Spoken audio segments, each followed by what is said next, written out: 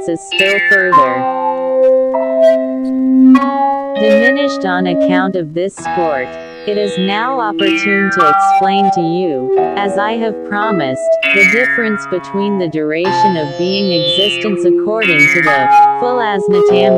principle and according to the principle of Itoklanoz.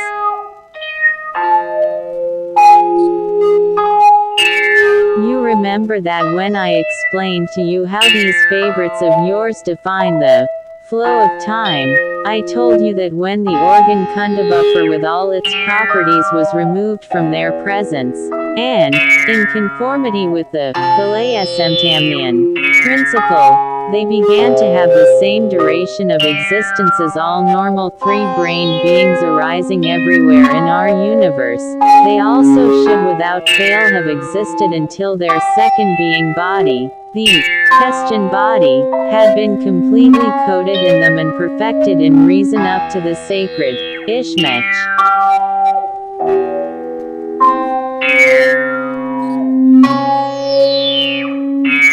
But later, when they began existing in a manner more and more unbecoming to three-brained beings and entirely ceased to actualize in their presence the being part duty foreseen by great nature, which alone enables three-brained beings to acquire the data for coding their higher parts, and when because of this the quality of their radiations failed to respond to the demands of the most great common cosmic trogo-autocratic process,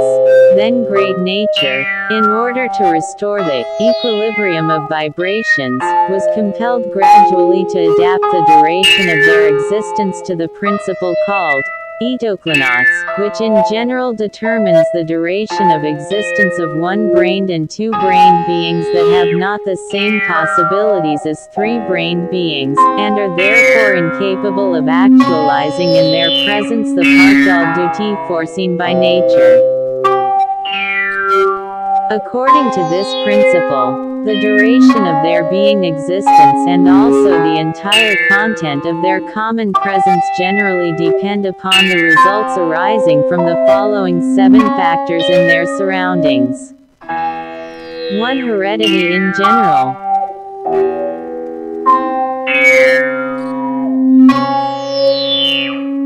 2. Conditions and environment at the moment of conception. 3. The combined radiations of all the planets of their solar system during their formation in the womb of their productress. 4. The level of being manifestation of their producers during the period in which they themselves are preparing for responsible age.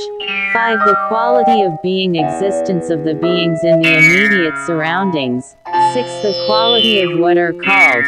Teleokrimalnichnian thought waves formed in the atmosphere around them. Also during the period of their preparation for responsible age, that is, the sincerely manifested good wishes and actions of beings of the same blood, and finally, 7. The quality of their own being Egoplastikoori, that is, there being efforts for the transubstantiation in themselves of all the data for obtaining objective reason.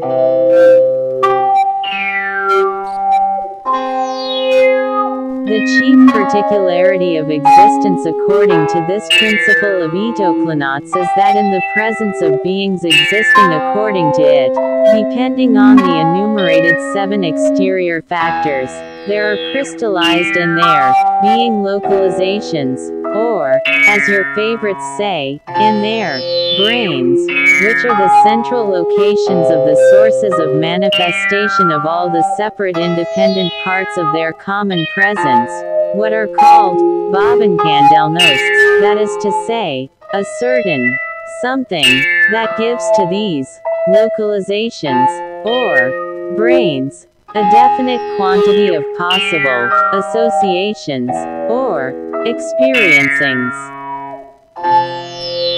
And so, my boy, because these contemporary favorites of yours, the three-brained beings of the planet Earth, now arise only according to the principle of Itoklanoz there are crystallized in their brains, from the moment of conception up to the age of responsible beings, these, Bobbincandelnosts, with very definite possibilities for actualizing the processes of association.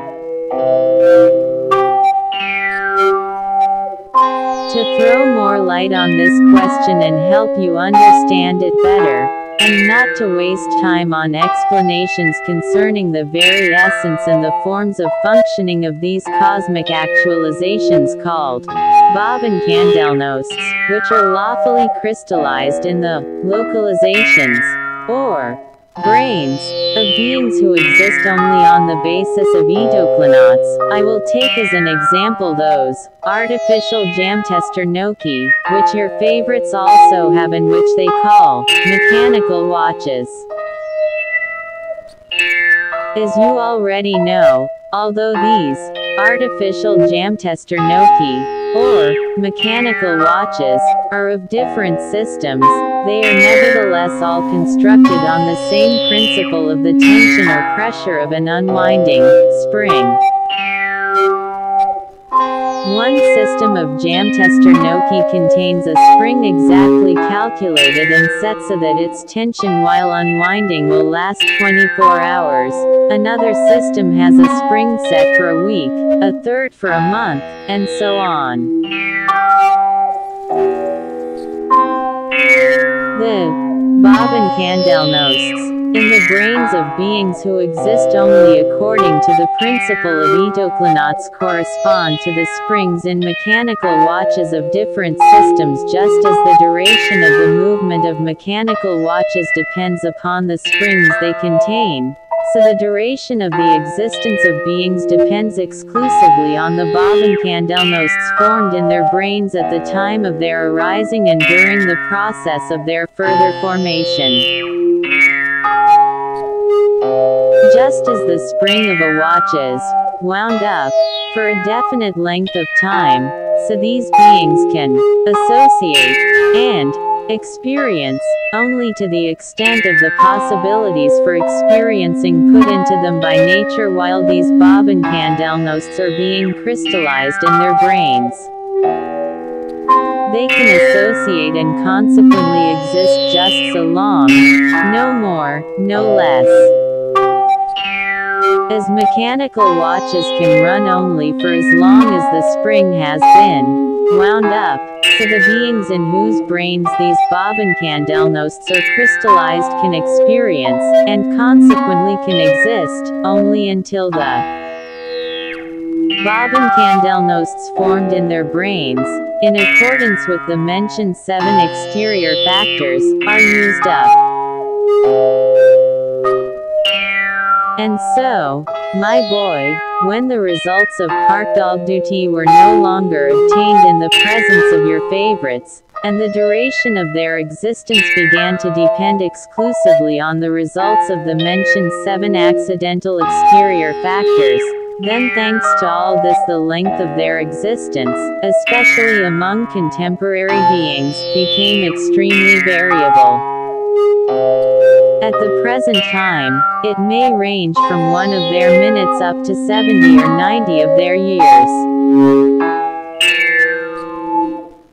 And so, owing to all I have just said, no matter how your favorites exist, and no matter what measures they adopt, and even if they were to put themselves, as they say, in a glass case, as soon as the contents of the Bobbincandelnost crystallized in one or another of their brains is used up, that brain immediately ceases to function. The difference between mechanical watches and your contemporary favorites is that in watches there is only one spring, whereas your favorites have three of these independent Bobbincandelnosts. And these Bobbincandelnosts in all three independent localizations of three brain beings in general have the following names. The first the bobbin Bobbincandelnost of the thinking center, the second the bobbin Bobbincandelnost of the feeling center, and the third the bobbin Bobbincandelnost of the moving center.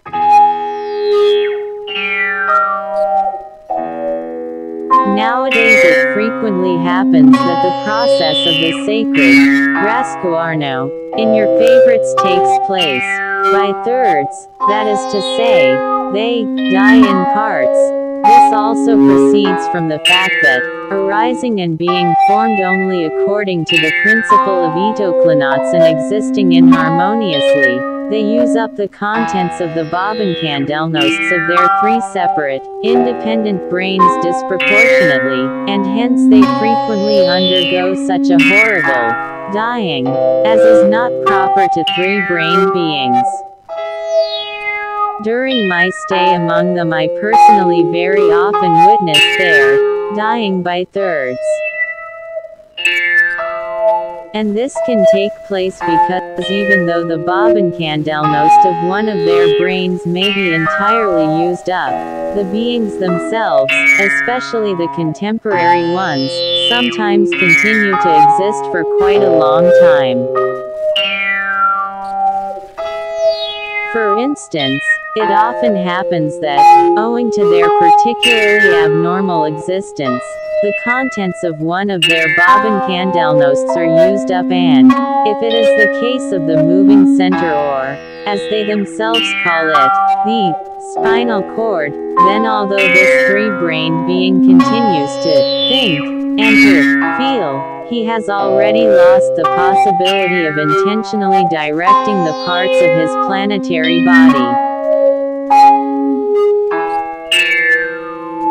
Here it is interesting to note that, when in one of your contemporary favorites a part finally dies in this way,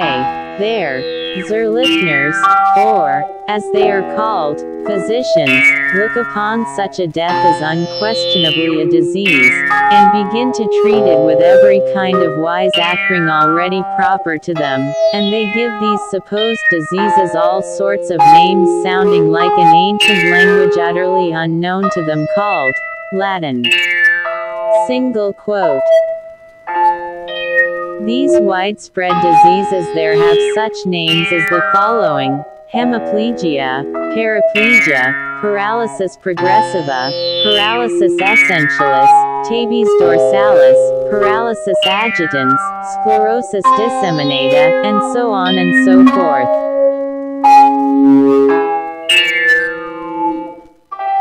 Such a death by thirds has become particularly frequent during the last two centuries on the planet Earth which has taken your fancy and this occurs to those of your favorites of all communities there, both large and small, who, either because of their professions, or because of one of the passions that arise in beings on account of the same abnormally established conditions of their ordinary being existence, have more or less used up the contents of the bobbincandelnosts of one or another of their being brains. For instance, a one-third death, through exhaustion of the Bobbincandelnost of the moving center or spinal cord often occurs among those terrestrial beings who give themselves up to that occupation practiced by the beings belonging to the community of England, thanks to the maleficent invention of the ancient Greeks now called sport. You will clearly understand the nature of the pernicious consequences of that harmful occupation when I tell you that, during my stay among those favorites of yours, I once devoted a special section of my statistics to clarifying for myself how long those three-brained beings can exist who take up the profession of wrestling, and never once did I find a single one who had existed longer than 49 of their years and a one-third death through the premature using up of the bobbincandelnost of the feeling center occurs there for the most part among those beings who become by profession what are called representatives of art. Most of these terrestrial professionals, especially the contemporary ones, at first follow with one or another form of what is called psychopathy, and later, because of their psychopathy, they so to say intentionally learn to feel, thereafter, repeatedly experiencing this abnormal being impulse, they gradually use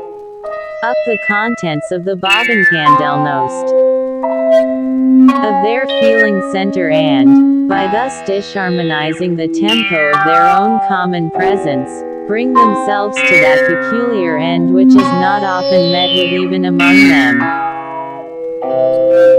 It is worth mentioning here, by the way, that the one-third death through the feeling center also occurs among your favorites thanks to a very original form of psychopathy called altruism. And as regards the premature partial death through the Bobbincandelnost of the thinking center, this kind of death has been occurring more and more frequently in recent times among your favorites. This partial death through the thinking center chiefly befalls those favorites of yours who try to become, or have already become, scientists of new formation, and also those who are addicted to reading what are called books and newspapers. Single quote. As a result of reading superfluously and associating only by thoughts, the contents of the Bobbincandelnost of the thinking center of those three-brained beings are exhausted before the contents of the Bobbincandelnosts of their other being centers. And so, my boy, all these misfortunes,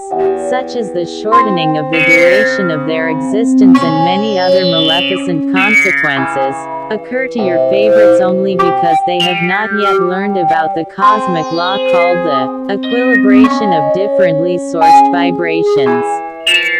Single quote.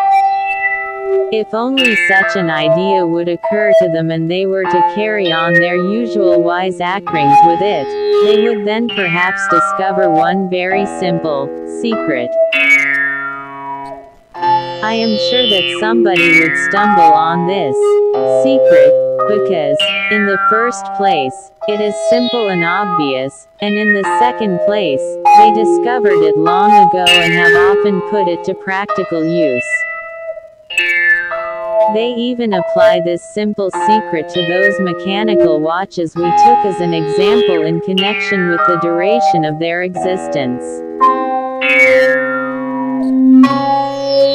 In all the mechanical watches of various systems, they use this simple secret in a corresponding part of the general mechanism of the watch for regulating the tension of the spring, and it is called, it seems, the regulator. By means of this regulator, it is possible, for instance, to make the mechanism of a watch that is wound up for 24 hours go for a whole month or, on the contrary, run down in 5 minutes.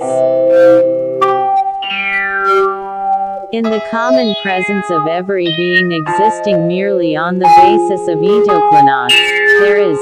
something similar to the regulator in a mechanical watch, and this something is called Uran Samkeep, which means not to give oneself up to the associations resulting from the functioning of one brain alone.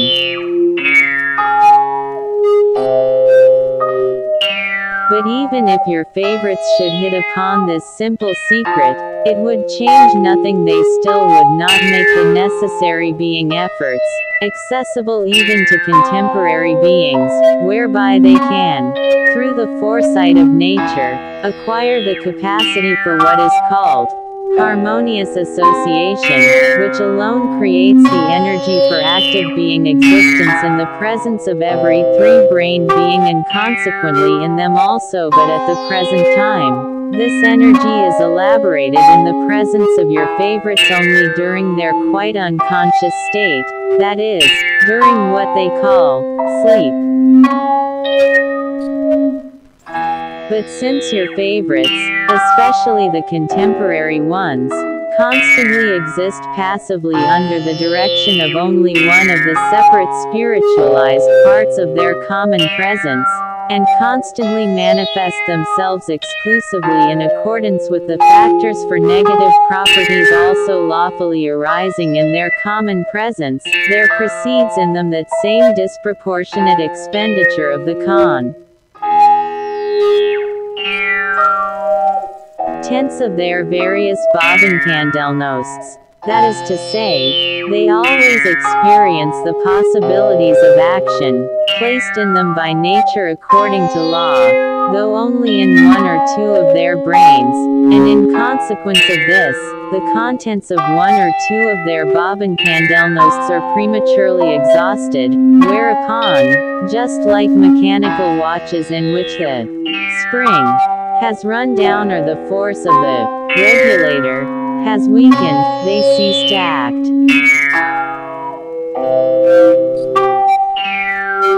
Sometime later, I shall explain to you why it is that when beings who exist according to the principle of Itoklanoz manifest under the direction of only one or two of their spiritualized sources, and not harmoniously with all three combined and in agreement, the particular brain in which there has been an excess of associations is prematurely used up and consequently dies, and I shall also explain why, owing to this, the other bobbin Bobbincandelnosts are likewise used up, even though they had no part in it. But you should also know that one can still occasionally find certain of your favorites whose planetary existence lasts up to five of their centuries.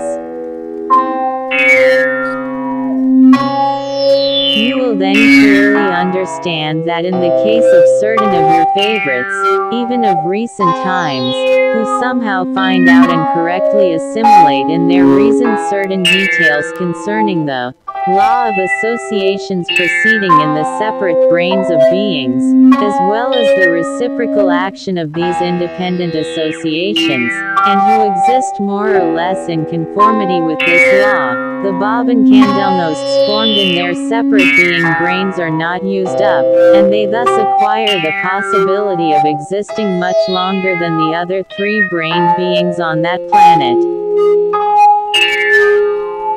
During my last stay there, I personally met several of these terrestrial contemporary three-brained beings who were already two or three, or even four of their centuries old I met them chiefly in a small brotherhood, composed of beings from almost all of their religions, whose per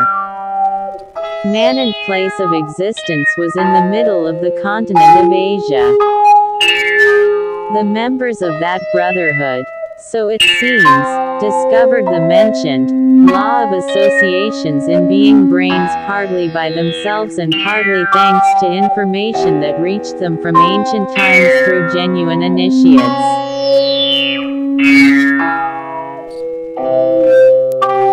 As for the beings of the contemporary community of England, who have become the chief victims of that particularly maleficent invention of the beings of the ancient Greek civilization, they not only practice it in the process of their own existence but they try as hard as they can to infect the beings of all the other communities with this same evil. Moreover, by this maleficent sport of theirs, these unfortunates not only diminish still further the already trifling duration of their own existence but, in my opinion, they will eventually bring about the same fate for their community as quite recently befell a large community there named, Russia.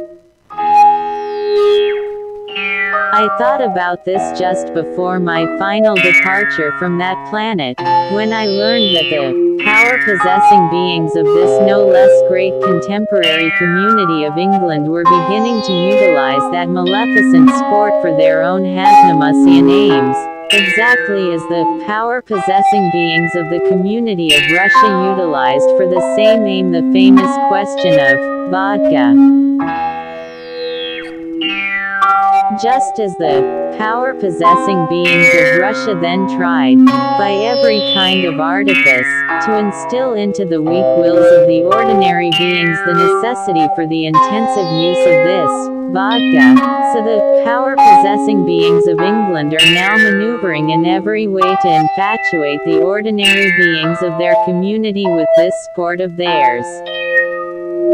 The forebodings that then arose in me are, it seems, already being justified. And I draw this conclusion from the etherogram I recently received from the planet Mars informing me, among other things, that although there are more than two and a half million of what are called unemployed beings in that community of England, the power-possessing beings, there take no measures concerning this, but only endeavor to spread still more widely among them that famous sport of theirs. Just as in the large community of Russia all the newspapers and magazines used to publish countless articles on the question of vodka, so now in the community of England more than half the contents of all these sowers of evil are devoted to that famous sport. Quote, Chapter 30 Art. At this place in his tales, Beelzebub became silent. Then turning suddenly to his old servant Ahoon, who was sitting there listening as attentively as his grandson Hassan, Beelzebub said. What's this, old man?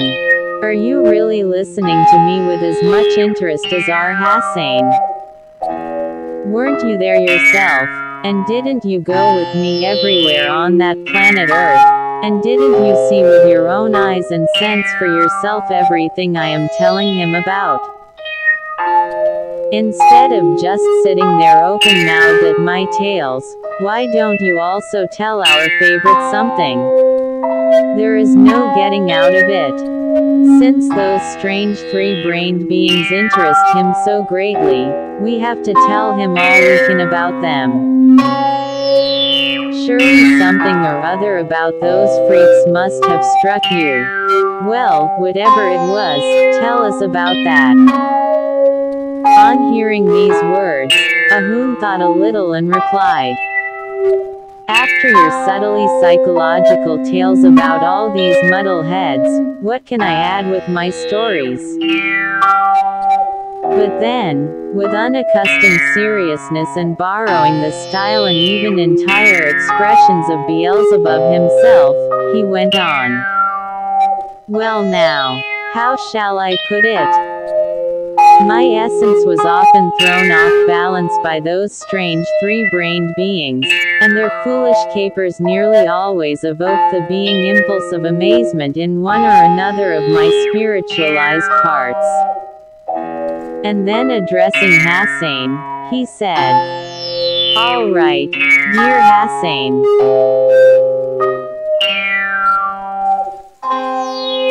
I shall not, like his right reverence, tell you in detail about any particular oddity of the psyche of those three-brained beings of our great universe who have taken your fancy no. I shall only remind his right reverence of a certain factor whose origin goes back to the time of our fifth stay on the surface of that planet, and which, when we return there for the sixth and last time, had become the chief reason why, in every one of your favorites, from the first day of their arising until their formation as responsible beings, their capacity for normal, being mentation, is distorted step by step, and is finally transformed almost into a Kaltusuru.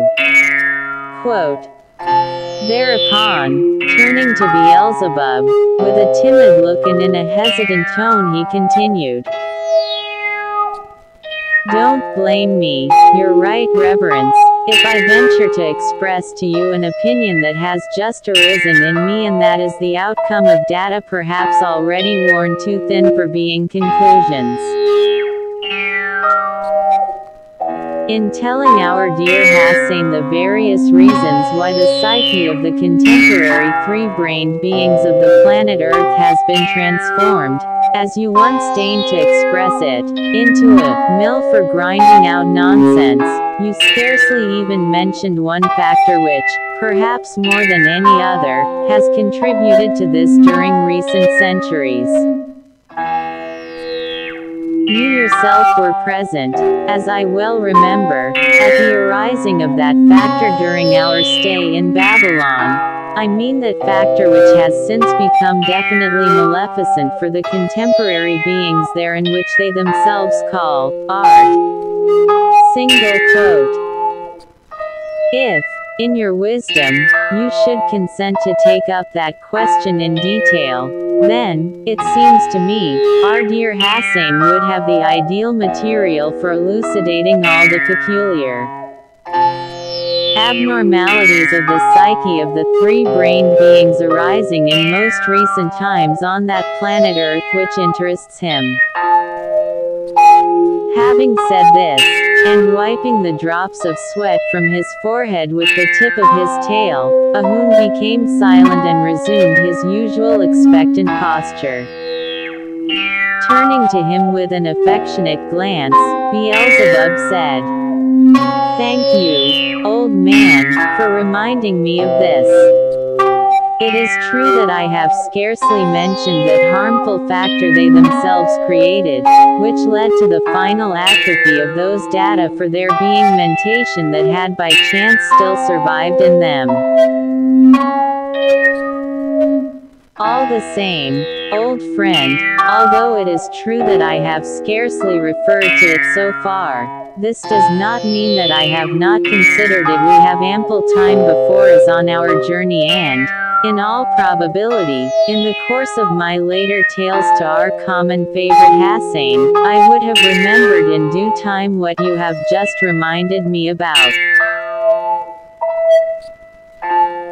However, Perhaps it is opportune to speak just now about this contemporary terrestrial art, because, as you have said, during our fifth stay there, I actually witnessed the events that gave rise to the causes of this contemporary evil, and that occurred thanks again to those learned beings who were gathered in the city of Babylon from almost the whole surface of that ill-fated planet. Quote, Beelzebub then turned to Hassein and spoke as follows.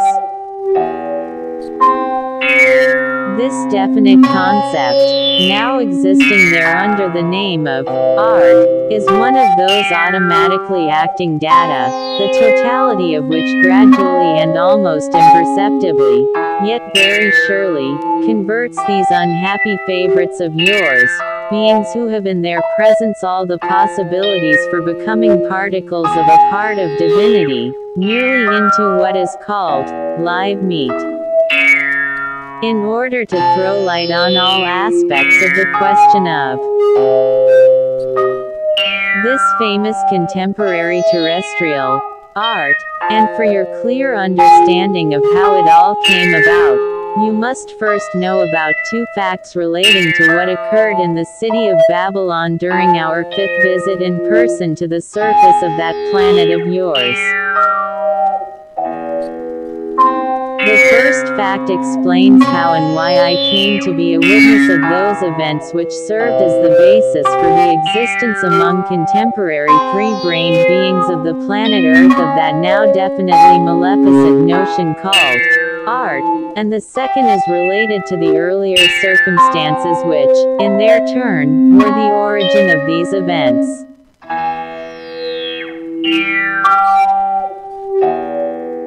Concerning the first of these facts, I must tell you that after the events which occurred among those learned terrestrial three-brained beings who had come to Babylon from almost the whole planet, that is to say, after they had split into several independent groups and had become absorbed, as I have already told you, in the question of polities, I resolved to leave Babylon and continue my observations among the beings of the powerful community called Hellas, I therefore decided to learn their language without delay, and from then on I began to visit those places in the city of Babylon frequented by those beings who would be most useful to me in this study.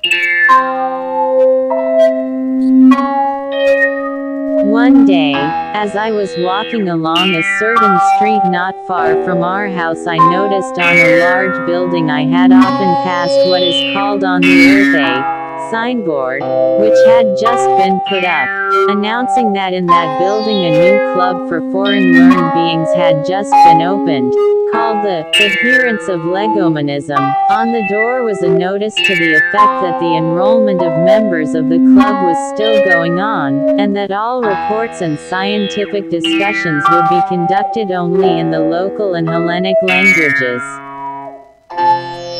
This interested me very much, and at once I thought of the possibility of making use of this newly opened club for practice in the Hellenic language. I then asked certain beings who were going in and out of the building for particulars concerning the club, and when, thanks to the explanation of one of these learned beings with whom, as it turned out, I was already acquainted, I had made it all more or less clear to myself, I then and there decided to become a member.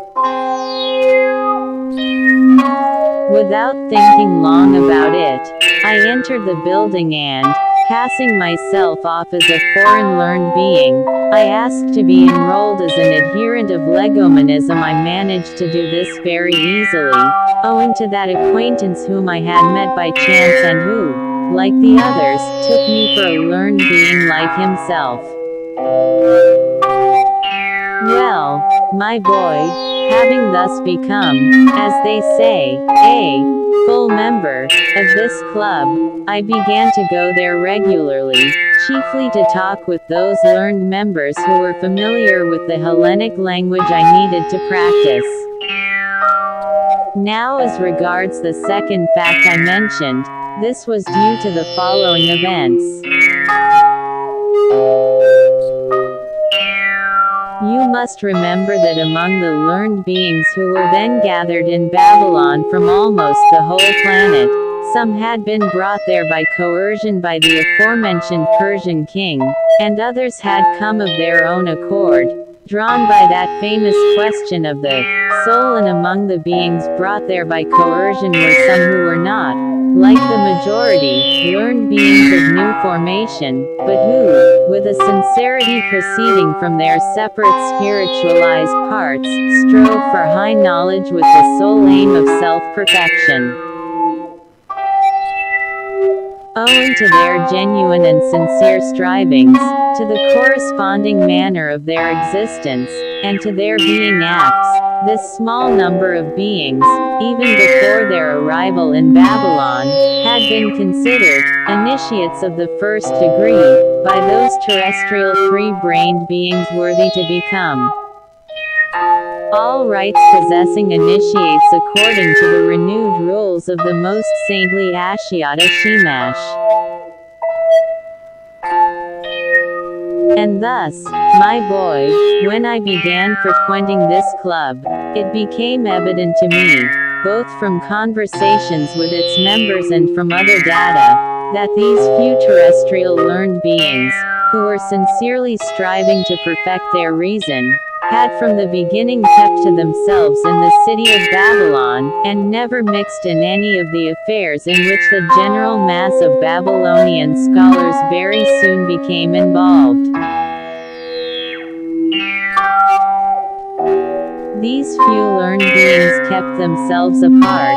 not only in the beginning when all the others established a meeting place in the very heart of Babylon, where for their better mutual support, both material and moral, they founded a central club for all the learned beings of the earth, but also later on, when the whole body of learned beings split into three separate sections, each having its independent club in a different part of the city, these initiated beings identified themselves with none of the three sections. They existed in the suburbs and scarcely ever met any of the main body of learned beings, and it was only a few days before I was admitted as a member that they united for the first time for the purpose of organizing the Club of the Adherents of Legominism. Single quote. These few learned beings I am speaking of had all without exception been brought to the city of Babylon by coercion and were for the most part among those taken by the Persian king from Egypt. As I learned later, this union of theirs had been brought about by two learned beings who were initiates of the first degree. One of these two terrestrial initiates, who had his arising among a race of beings called the Moors, was named Kami el. The other learned initiate was named Pythagoras, who had his arising among the Hellenes, those who were afterward called Greeks. These two learned beings, as it later became clear to me, happened to meet in the city of Babylon and, during what is called an Awasapagaonian exchange of opinions, that is, during one of their conversations, the question arose, which forms of being existence can serve the welfare of beings of the future. They came to the conclusion that in the course of changing generations of beings on the earth a very lamentable phenomenon occurs, namely, that for some reason or other during the processes of reciprocal destruction called wars, and popular uprisings, numbers of initiated beings of all degrees are invariably destroyed and, together with them, there are also destroyed forever. Many legominisms, the sole means by which information about former real events on the earth is transmitted and continues to be transmitted from generation to generation. When these two sincere and honest terrestrial beings ascertained what they considered so lamentable a phenomenon, they deliberated a long time and decided to take advantage of the exceptional gathering of so many learned beings in the same city to confer together for the purpose of finding some means of averting at least this distressing phenomenon, which proceeded on the earth owing to the abnormal conditions of the life of man. And it was for this very purpose that they organized that club and called it the Club of the Adherents of Legominism. So many like-thinking beings at once responded to their appeal that two days after my admission, the enrollment of new members was closed. And on the day when new members were no longer admitted, the number enrolled was 139, and the club continued with this same number of members until the Persian king abandoned his craze concerning those terrestrial learned beings.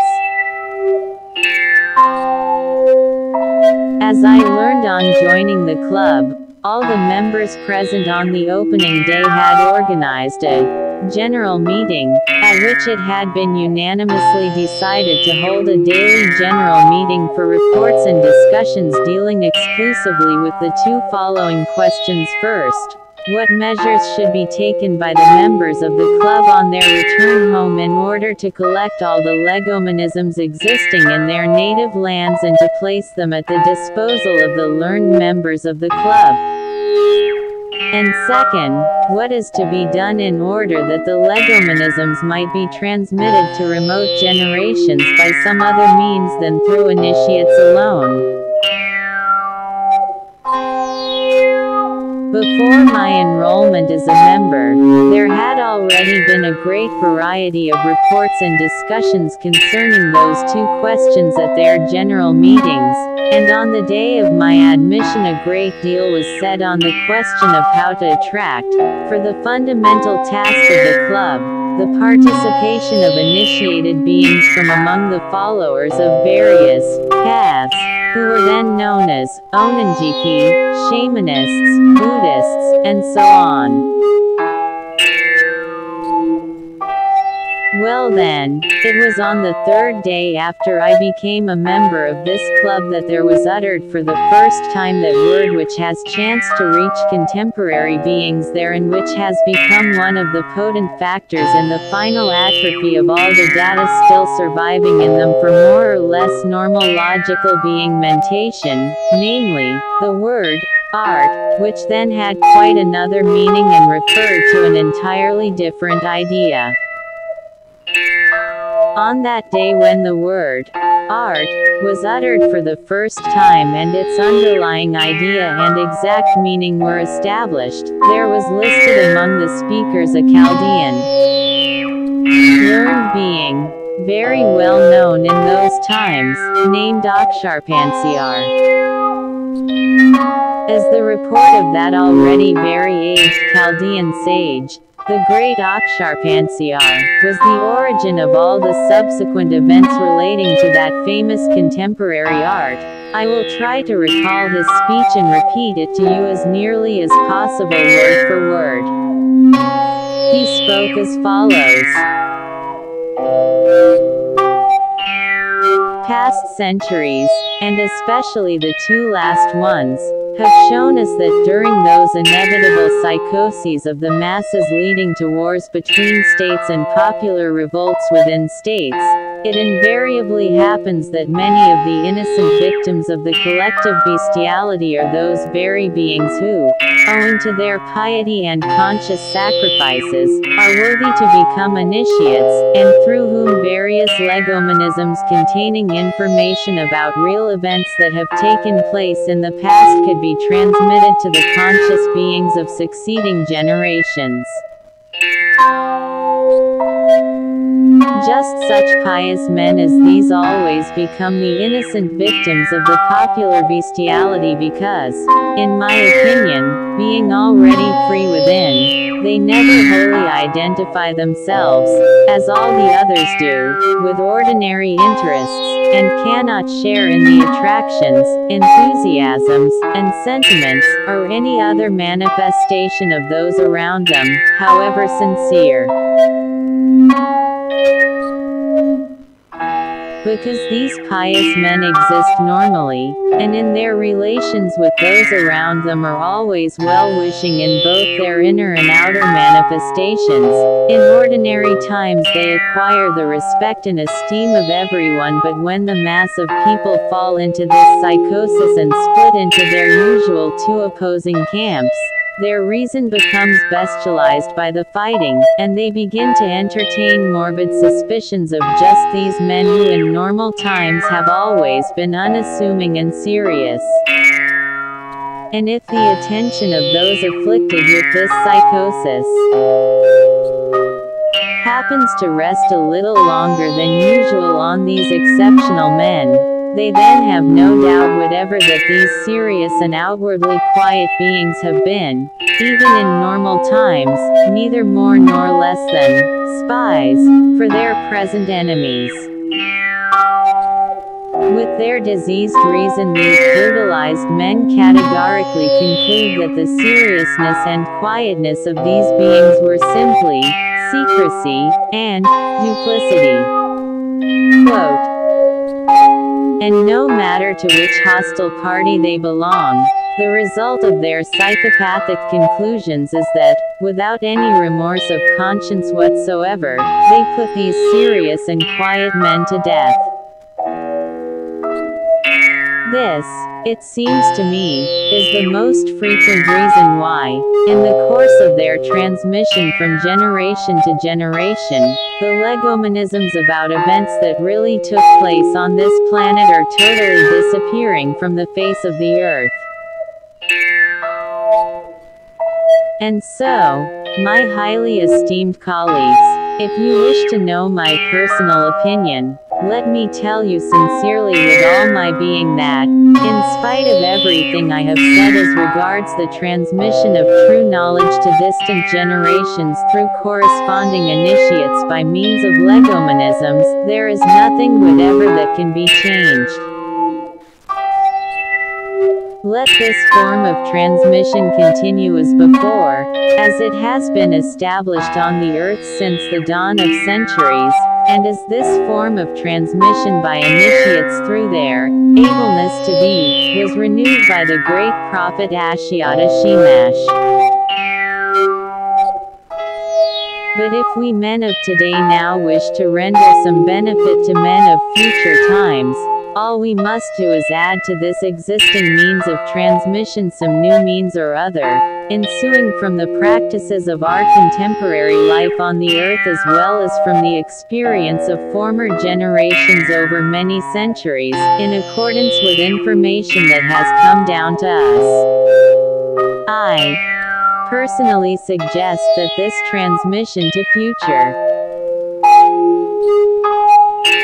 generations be carried out through the human, apokkalnas, as they are called, that is, through various works of man's hands which have entered into the everyday life of people, and also through the human, soldinokas, that is, through various procedures and ceremonies, which have been established for centuries in the social and family life of people and which pass automatically from generation to generation. Certain of these human apokkalnas, particularly those made of lasting materials, may remain intact and be handed down to our remote posterity. Our copies may pass from generation to generation, thanks to the property rooted in man's essence of giving out as his own, after having changed some minor detail, works that have reached him from long past epochs. In regard to the human,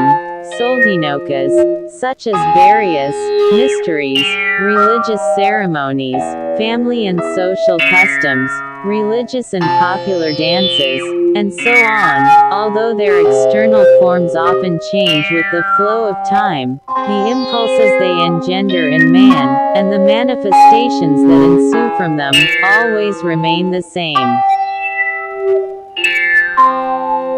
Therefore, if we insert the useful information and true knowledge we have already attained within the inner factors that engender these impulses and manifestations, as well as in the works that I have mentioned, we can fully count on this knowledge reaching our very remote descendants, some of whom will decipher it and thereby enable all the others to utilize it for their good.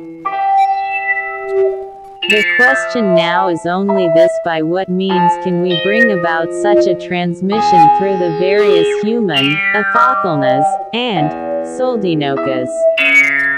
For my part, I propose that this be done through the universal law called the law of sevenfoldness. The law of sevenfoldness exists on the earth and will exist forever and in everything.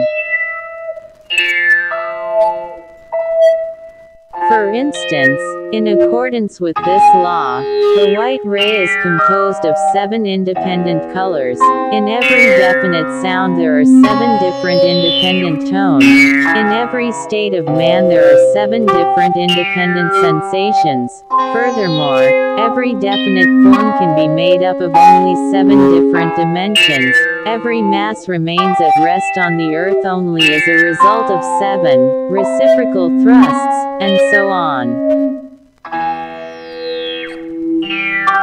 Well then, we wish that knowledge existing today, both what we have personally attained and what has reached us from times past, just that knowledge which all agree will be useful for our remote descendants, be indicated in some way or other in these human, apokkalnas, and soldinokas, so that in the future it may be perceived by the pure reason of man by means of this great universal law. The law of sevenfoldness, I repeat, will exist on the earth as long as the universe exists, and it will be seen and understood by men in all times as long as human thought exists, and therefore it can boldly be said that the knowledge indicated in this manner in the works of man will also exist forever on the earth. And as for the method itself, that is to say, the mode of transmission by the application of this law, this, in my opinion, can be worked out as follows. In all the works that we will intentionally create on the basis of this law for the purpose of transmission to remote generations we shall intentionally introduce certain inexactitudes, also conformable to law, and in these lawful inexactitudes we will place, in an intelligible manner, the content of some true knowledge or other in the possession of men of the present day. At the same time, to serve as the key for deciphering those inexactitudes in that great law, we will insert in our works something like a legominism, and we will secure its transmission from generation to generation through initiates of a special kind, whom we shall call initiates of art. Quote, and we shall call them thus because the whole process of such a transmission of knowledge to remote generations through the law of sevenfoldness will not be natural but artificial.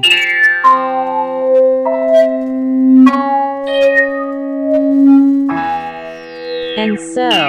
my most worthy and impartial colleagues, it must now be clear to you that if, for some reason or other, the useful information concerning knowledge already attained by men about past events on the earth fails to reach our descendants through genuine initiates, then thanks to this new means of transmission I have proposed, Men of future generations will always have the possibility of discovering and understanding for themselves, if not everything now existing on the earth, at least those fragments of common knowledge which chance to reach them through these works of the hands of our contemporaries as well as through those various ceremonies existing today, in which, in accordance with this great law of sevenfoldness, and by means of these, artificial, indications of ours, we shall now put what we wish.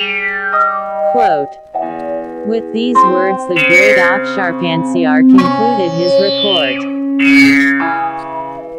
This speech of his aroused considerable excitement, and a noisy discussion broke out among all the members of the club of the adherents of legominism, with the outcome that then and there they unanimously decided to do as the great Aksharpanziar had suggested. A brief interval was then allowed for a meal, after which they all assembled again, and this second general meeting lasted throughout the night.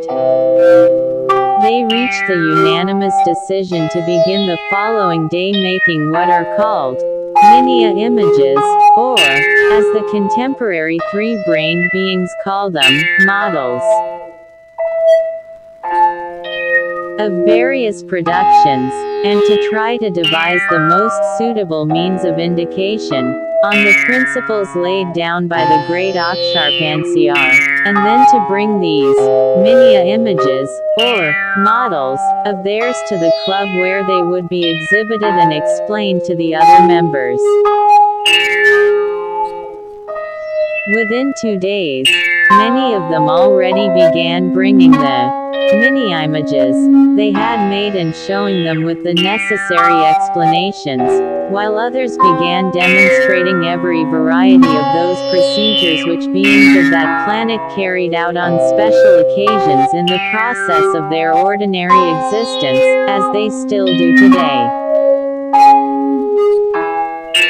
The models they brought included different combinations of colors and various forms of constructions and buildings, and the being manifestations they demonstrated included the playing of different musical instruments, the singing of every kind of melody, and also the exact representation of certain experiencings foreign to them, and so on and so forth. Shortly thereafter, for the sake of convenience, the members of the club divided themselves into a number of groups, and devoted each seventh part of the period of time they called a week, or, as they would say, each day, to the presentation and explanation of their productions relating to one particular branch of knowledge. Here it is interesting to note that this definite period of the flow of time known as a week has always been divided into seven days, and this division was made by the beings of the continent of Atlantis, who expressed in it that same law of sevenfoldness, with which they were quite familiar. On the continent of Atlantis the days of the week were called as follows. Adash Sikra Evo Sakra Gaborg Sikri. Mido Sakra Luka Sakra Sonia Sikri. These names changed many times and at present the beings there name the days of the week thus. Monday, Tuesday, Wednesday, Thursday, Friday, Saturday, Sunday. Well then, as I have just told you, they devoted each day of the week to productions in one or another special branch of knowledge, either works of their hands, or some other form of consciously designed being manifestation. Thus, Monday was devoted to the first group, and this day was called the Day of Religious and Civil Ceremonies. Tuesday was allotted to the second group, and was called the Day of Architecture.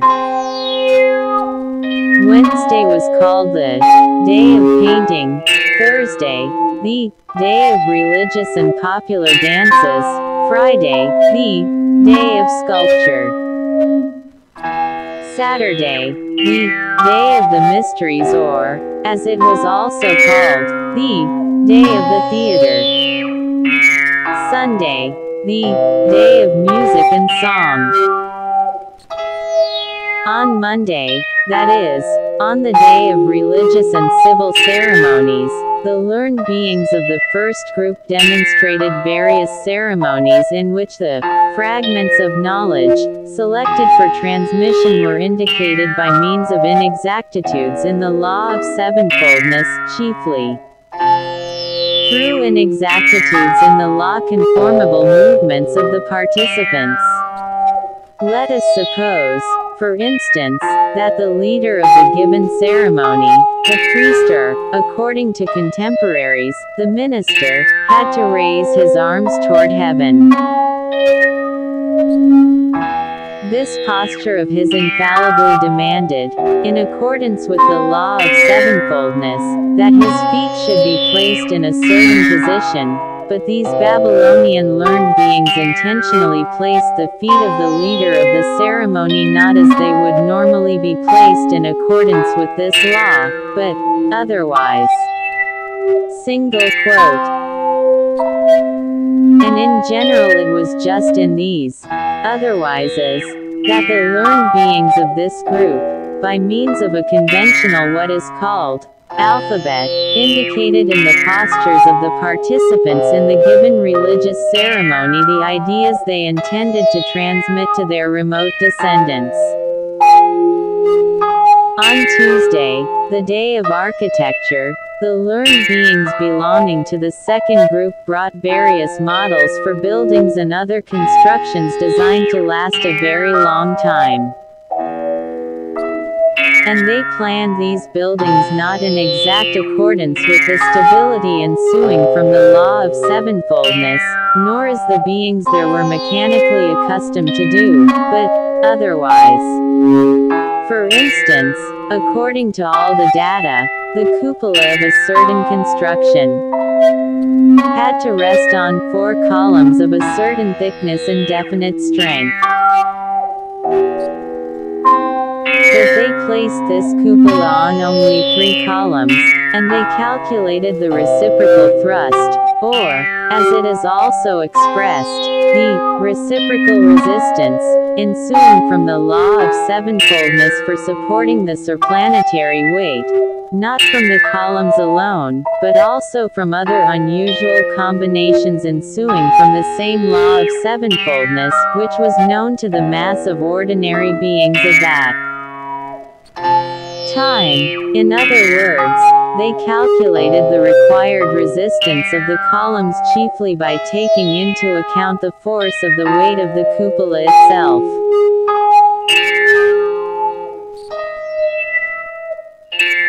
Or to give another example a certain cornerstone, according to all the data established there, both mechanically from the practice of centuries and thanks to the fully conscious calculations of certain beings with reason, ought infallibly to have a definite mass corresponding to a certain force of resistance, but on the contrary, they cut and set this cornerstone in such a way that it did not correspond at all to the aforementioned data, and on the basis of the law of sevenfoldness they calculated the mass and force of resistance required for the support of the superimposed weight from the setting of the lower stones, which in their turn they did not set according to the established custom but according to calculations based on the manner of setting the still lower stones, and so on.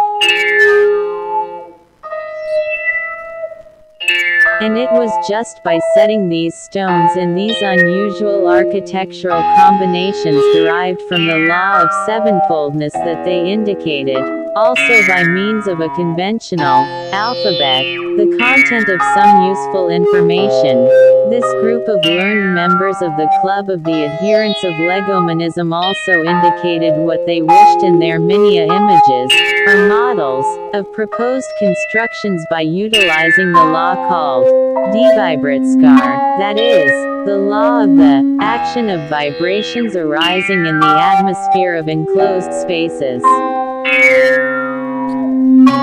This law, no knowledge of which has reached contemporary beings of that planet, was then well known to the beings there, who were quite aware that the size and form of an enclosed space, and also the volume of air it contains, influence beings in a particular way.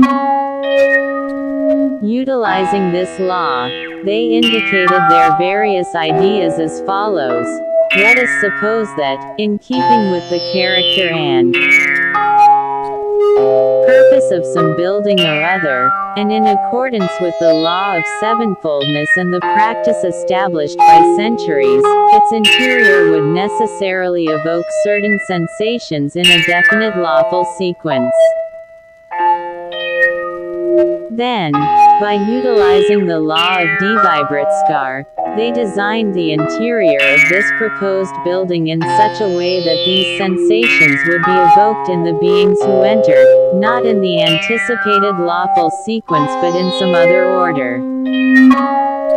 And it was just in these deviations from the lawful sequence of sensations that they inserted what they wished to transmit.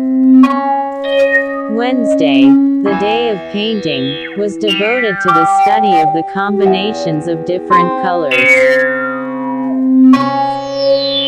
On that day the learned beings of this group brought for demonstration all sorts of objects for domestic use made of very durable colored materials,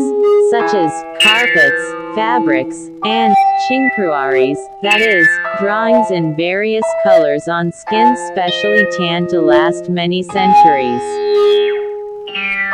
On these objects were drawn, or embroidered in many colored threads, various scenes of nature on that planet and different forms of beings breeding there.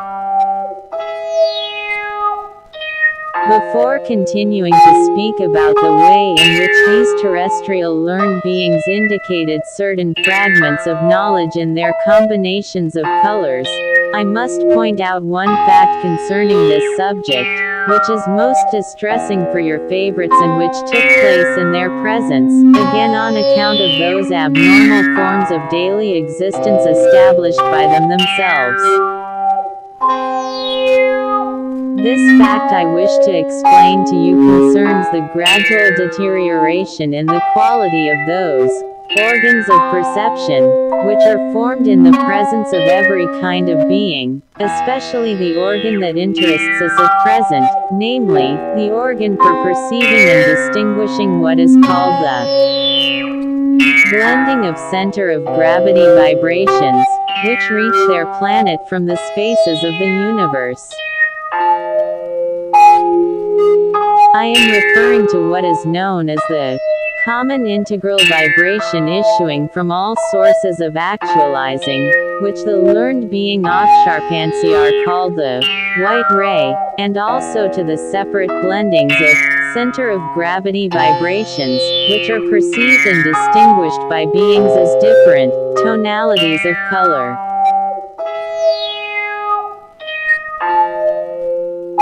You must know that from the time of the arising of the three-brained beings of the planet Earth, before the period when the organ Kundabuffer was implanted in them, and later when this organ was totally removed from their presence, and even much later, beginning from the second Transapalnian catastrophe almost up to the time of our third flight in person to the surface of that planet, the organ of sight was actualized in them with the same sensitivity of perception, as in the common presence of all ordinary three-brained beings of the whole of our great universe.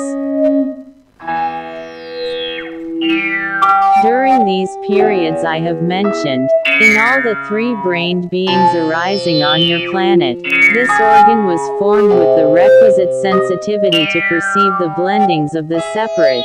center of gravity vibrations of the white ray, and to distinguish one-third of all the tonalities of color, found in general in the presences of the planets as well as in all other cosmic concentrations, great and small. Objective science has precisely established that the number of separate blendings of center of gravity vibrations issuing from the common integral vibration, that is, the number of tonalities of color, is exactly equal to 1. Kultanpanas, which, according to the calculations of the terrestrial three-brained beings, would amount to 5, 764, 801 tonalities. Only a third of this total number of blendings are tonalities, with the exception of the one tonality which is accessible only to the perception of our all autocratic endlessness, that is, 1, 921, 600 tonalities, can be perceived as different colors, by all ordinary beings on whatever planet of our great universe they arise. But if the three-brained beings complete the perfecting of their highest part, and their organ for the perception of visibility thereby acquires the sensitivity of what is called Olooestesnokhnian sight, they can then distinguish two-thirds of the total number of tonalities existing in the universe which, according to terrestrial calculation, amounts to 3, 843, 200 different tonalities of color. And only those three brain beings who perfect their highest being part to the state of what is called Ishmech, become able to perceive and distinguish the total number of blendings or tonalities, with the exception of that one tonality which, as I have already told you, is accessible to the perception of our all-maintaining Creator alone. Although I intend to explain to you later in detail how and why in the presences of Insapalnian cosmic concentrations every definite formation acquires, from evolving and involving processes, the property of producing various effects upon this organ of beings, nevertheless I do not consider it superfluous to touch upon this question now.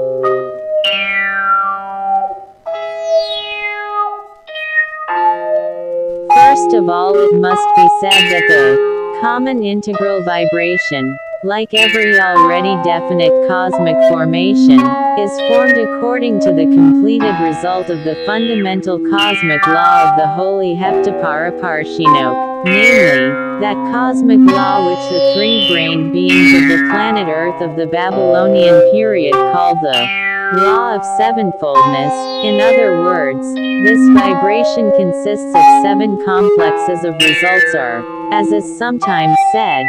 seven classes of vibrations issuing from cosmic sources, whose arising and further action depend on seven other sources, which in their turn arise and depend on seven further ones, and so on right up to the first most holy, unique, seven property vibration issuing from the most holy prime source. And all these together compose the common integral vibration of all sources of actualization of everything that exists in the universe, and later, thanks to their transformations, they actualize in the presences of the cosmic Insapalmian concentrations the number of different tonalities of color I have mentioned. As for the details of the most holy, unique, 7 Propertied vibration. These you will understand only when I have explained to you in its proper time, as I have already many times promised you, all about the great fundamental laws of world creation and world maintenance.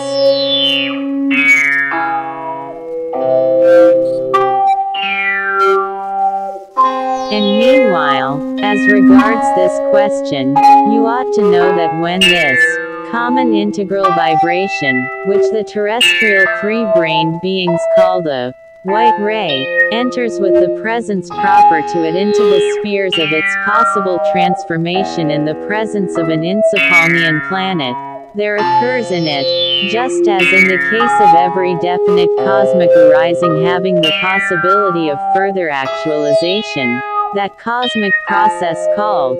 Djartklom, that is to say, it itself remains as a presence, but its essence disintegrates, as it were, and engenders processes for evolution and involution by the separate, center of gravity vibrations of its arising, and these processes are actualized thus certain groups of center of gravity vibrations separate themselves from the others and are transformed into third ones, and so on. During these transformations, the common integral vibration, or white ray, acts through its center of gravity vibrations upon other ordinary processes taking place nearby in intraplanetary and surplanetary arisings and decompositions, and owing to kindred vibrations, and in accordance with surrounding conditions, its center of gravity vibrations blend and become part of the common presence of these definite intraplanetary or surplanetary formations in which these processes are taking place. So, my boy, during my personal descents to the planet Earth, I noted, at first without any conscious intention on the part of my reason, and later I quite intentionally verified, the progressive worsening of this being organ in all your favorites.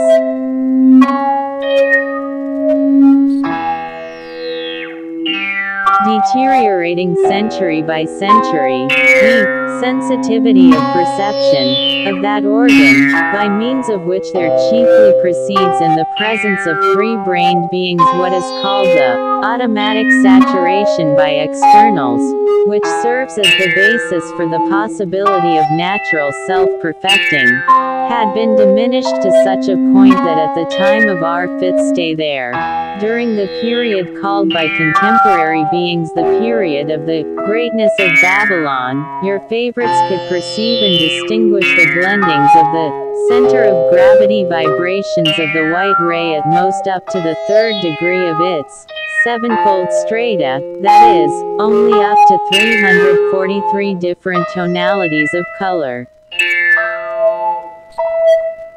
Here it is interesting to note that quite a number of the three-brained beings of the Babylonian epic already suspected the gradual deterioration of the sensitivity of this organ of theirs, and certain of them even founded a new society in Babylon, which launched a peculiar movement among the painters of that time. This peculiar movement had the following program to find out and elucidate the truth only by means of the tonalities existing between white and black. and they executed all their works using exclusively the tonalities from black to white. When I found out about that particular movement among the Babylonian painters, they were already using about 1500 quite distinct shades of the color gray. Single quote. This new movement in painting made a great stir among the beings who were striving to learn truth at least in something, and it even gave rise to another and still more peculiar movement, this time among the beings then known in Babylon as olfactorists, who studied and devised new combinations of concentrations of vibrations acting in a particular way on the sense of smell of beings, and producing definite effects on their general psyche, that is to say, among those beings who made it their aim to find the truth by means of smells.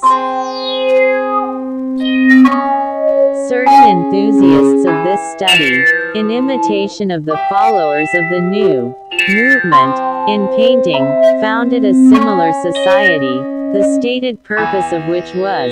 to seek the truth in the nuances of smells given off between the moment of the action of cold at freezing and the moment of the action of heat at decomposition. As the painters had done with colors, they also found between these two limits of smell about 700 very definite gradations, which they employed in their experiments. I do not know where these two peculiar movements in Babylon would have led, if a newly appointed mayor of the city, soon after our arrival there, had not started prosecuting the followers of that second movement, since, with their already sufficiently keen sense of smell, they had begun to get wind of and unwittingly to expose certain of his shady dealings, with the result that he used every possible means to suppress everything connected not only with that second movement, but with the first as well. As regards that organ of theirs about which we began to speak, namely, the organ for perceiving the visibility of cosmic arisings outside themselves, the deterioration of its sensitivity continued after the Babylonian period and reached such a point that during our last stay on the surface of this planet your favorites, instead of the 1, 921, 600 feet tonalities of color, which they ought to have perceived, had the possibility of perceiving and distinguishing only the result of the penultimate, sevenfold crystallization of the white ray, that is, 49 tonalities, and even then only some of your favorites had that capacity, while the rest, perhaps the majority, were deprived even of that. But what is most interesting as regards the progressive deterioration of that most important part of their common presence is the sorry farce that results, which is that those contemporary three-brained beings who can still manage to distinguish this miserable fraction of the total number of tonalities, merely 49, look down with disdain and self-conceit upon those other beings who have lost the capacity to distinguish even this insignificant number, as upon beings with an abnormal deficiency in that organ, and speak of them as afflicted by the disease called Daltonism. The last seven blendings of the center of gravity vibrations of the white ray, were called in Babylon, just as now among the contemporary beings of that planet, by the following names. Red, orange, yellow, green, blue, indigo, violet. Now listen to the way in which the learned beings belonging to the group of painters indicated the useful information and various fragments of knowledge they had attained, through lawful inexactitudes of the great cosmic law called the law of sevenfoldness, by means of the combinations of these seven independent definite colors and other, secondary tonalities derived from them. In accordance with that definite property of the common integral vibration, or the white ray, during the process of its transformations about which I have just spoken and which was already familiar to the learned Babylonian painters, each of its center of gravity vibrations are one of the separate colors of the white ray, always ensues from another and is transformed into a third, for example, the color orange is obtained from red, and in turn passes into yellow, and so on and so forth. So, whenever these learned painters of Babylon made their pictures, are wove or embroidered with colored threads, they arrange the different tonalities, whether lengthwise or crosswise or at the points of intersection of the lines of color, not in the lawful sequence in which this process normally takes place in accordance with the law of sevenfoldness, but otherwise, and it was in these equally lawful otherwises that they placed the substance of certain information and knowledge. On Thursday, namely, the day dedicated to sacred and popular dances, the learned beings of this group presented with the necessary explanations all possible forms of religious and popular dances, some already in existence which they only modified, and other quite new ones created by them.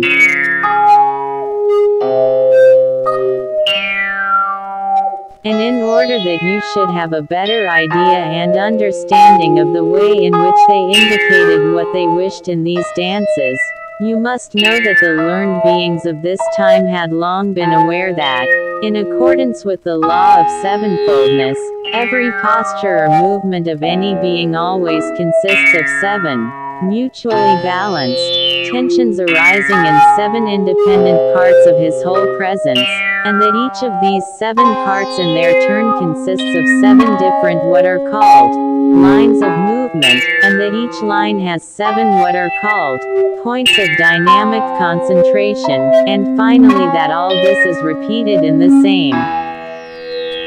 way and in the same sequence, but always on a diminishing scale, down to the minutest particles of the whole body, called atoms.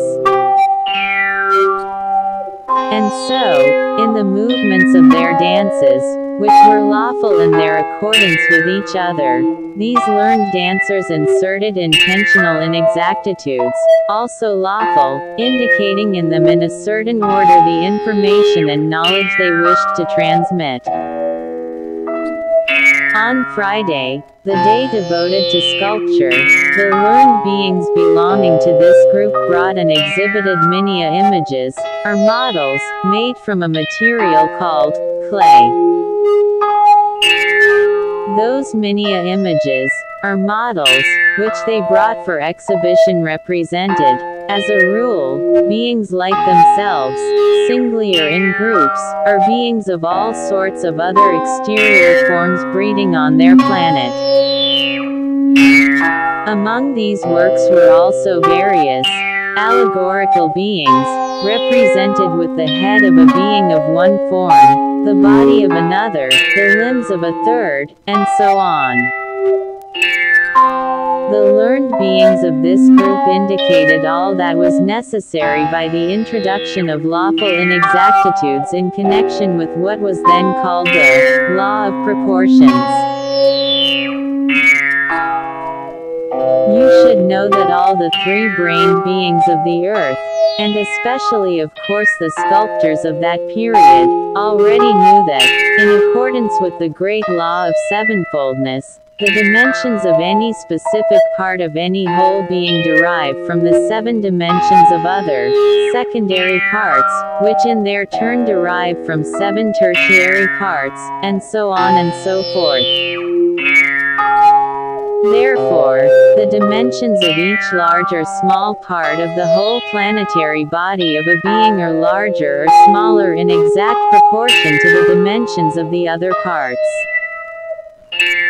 For a clear understanding of what I have just said, the face of any three-brained being can serve as a good example. The facial dimensions of every three-centered being in general, as also the facial dimensions of the three-centered beings of the planet Earth, are the result of the dimensions of the seven fundamental parts of the whole body, and the dimensions of each separate part of the face are the result of seven different dimensions of the whole face. For example, the dimensions of the nose of any being are determined by the dimensions of the other parts of the face, and this nose in its turn has seven definite what are called surfaces, and these surfaces also have seven local dimensions, down to the atom itself of this face of theirs, which is one of the seven independent dimensions of the whole planetary body. Now it was in the deviations from these local dimensions that the learned sculptors among the members of the Club of the Adherents of Legominism indicated all kinds of useful information and fragments of knowledge that they intended to transmit to beings of remote generations.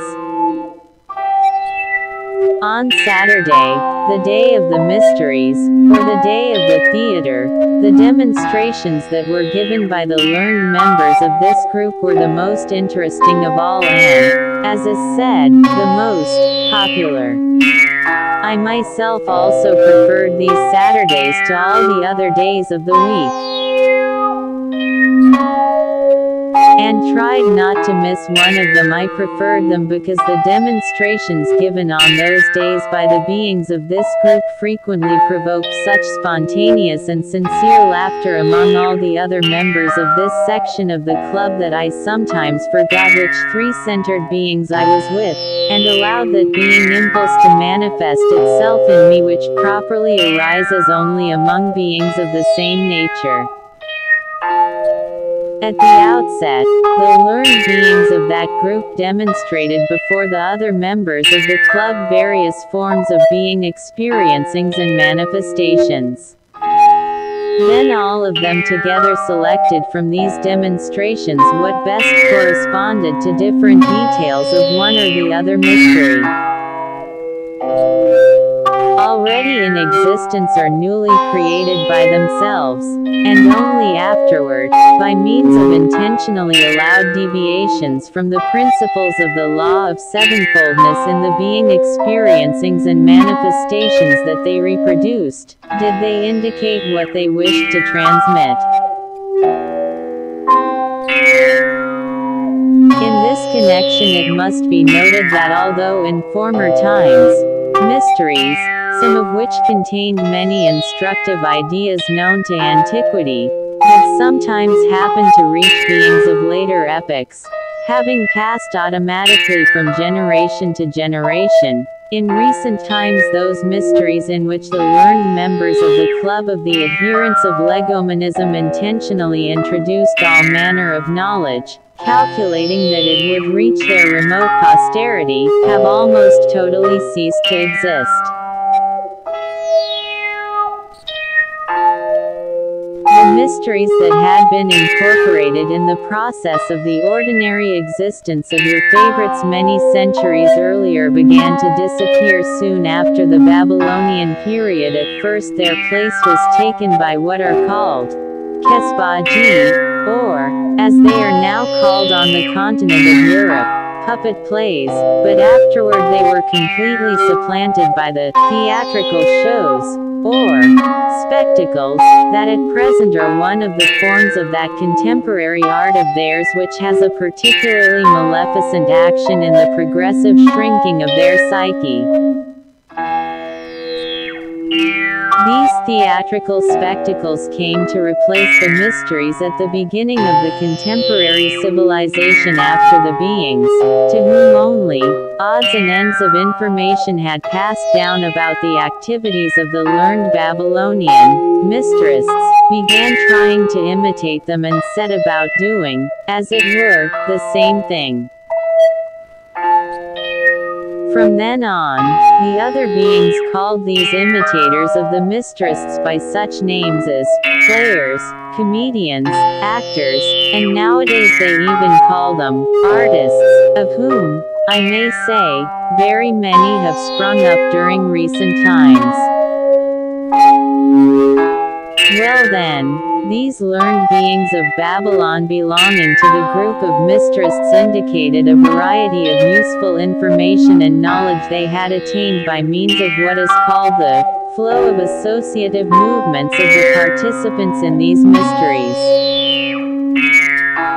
Although the terrestrial three-brained beings of that time were well acquainted with the law of the flow of associative movements, no information whatever about these laws has reached contemporary beings.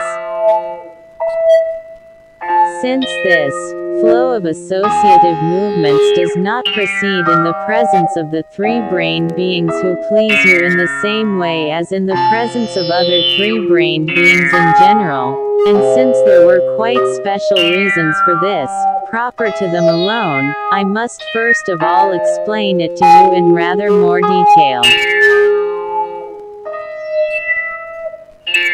The process itself is the same in them as in us, but in us it takes place only when we are intentionally resting in order to allow the whole functioning of our common presence to be free to transform, without hindrance from our will, every variety of being energy required for an all-round active existence, whereas in them these various being energies can now arise only during their total inactivity, that is, during what they call their sleep, and then of course only after a fashion.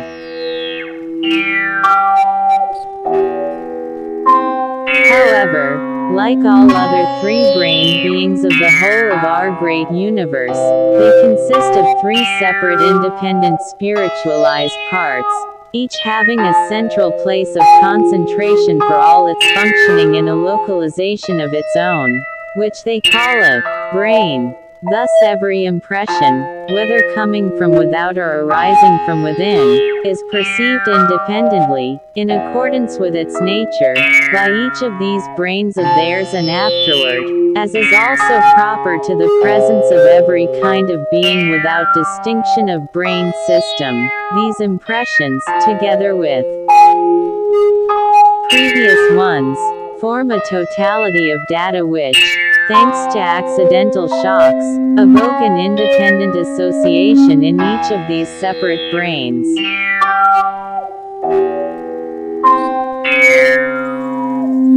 So, my boy, ever since your favorites completely ceased consciously to actualize in their common presence being Partkdolg duty, owing to which alone there can arise in beings, from associations of various kinds, what is called a sane comparative mentation, as well as the possibility of conscious active manifestation. Their separate brains, already associating quite independently, have engendered in one and the same common presence three being impulses of different sources, and thanks to this, they gradually have acquired, as it were, three personalities having nothing in common with each other in respect of needs and interests.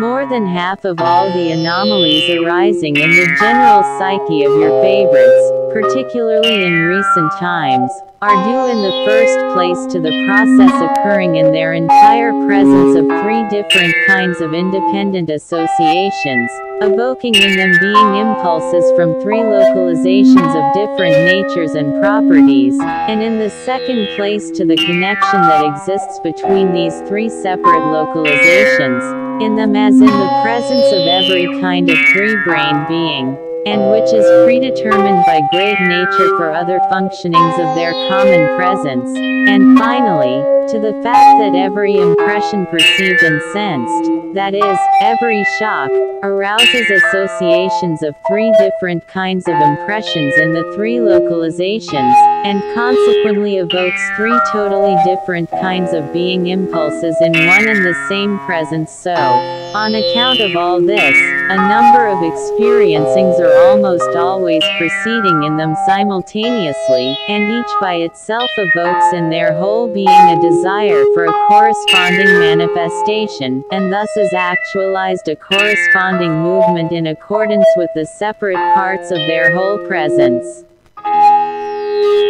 And these associative experiencings of different sources proceed in their common presence and flow one from the other also in accordance with the law of sevenfoldness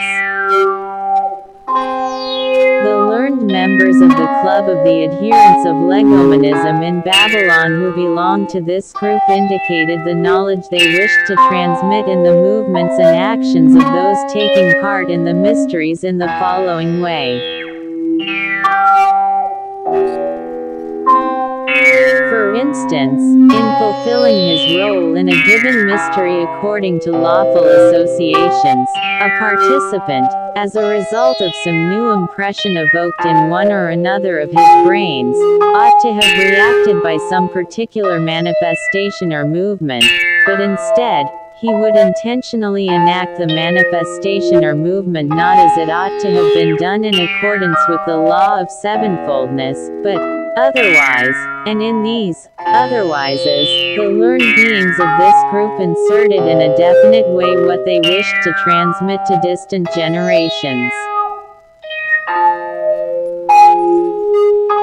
And now, my boy, in order that you should have a concrete picture of these Saturday demonstrations, which I was always glad to attend as a rest from my intense activities at that time, I will tell you how these learned mysterists demonstrated before the other learned members of the Club of the Adherents of Legominism various being experiencings and manifestations according to the flow of associations, from which certain fragments were selected for future mysteries.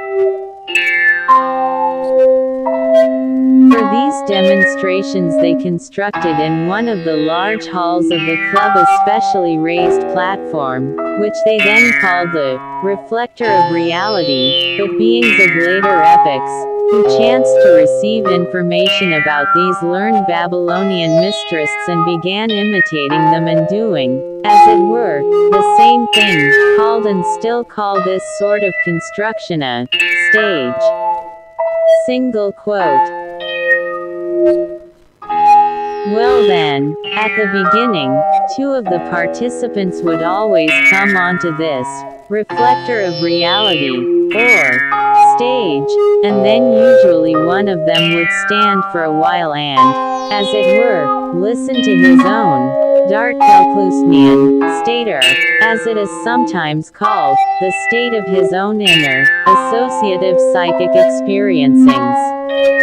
Single quote. Listening in this way, it would become clear to his reason that, for instance, the sum total of his associative experiencings took the form of an urgent impulse to punch the face of another being, the sight of whom always aroused in him by association a certain series of impressions already present in him, which invariably evoked in his general psyche disagreeable emotions, offensive to his conscious feeling of himself. Let us suppose that these disagreeable experiencings are always produced in him when he sees a Tradakakun, a professional whom contemporary beings there call a policeman.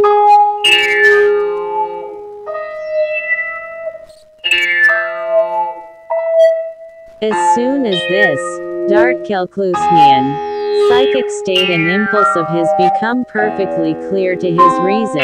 He recognizes, on the one hand, that in existing conditions of external social existence it is impossible for him to gratify this impulse to the full, and on the other hand, being already perfected in reason and thus well aware of his dependence on the automatic functioning of the other parts of his common presence, he understands clearly that the fulfillment of some urgent being duty of great importance to those around him is contingent on the gratification of this impulse and having thought over everything in this way, he decides to gratify this urge of his as best he can by doing at least a moral injury to that Tridakakun, that is, by evoking in him associations of an offensive nature.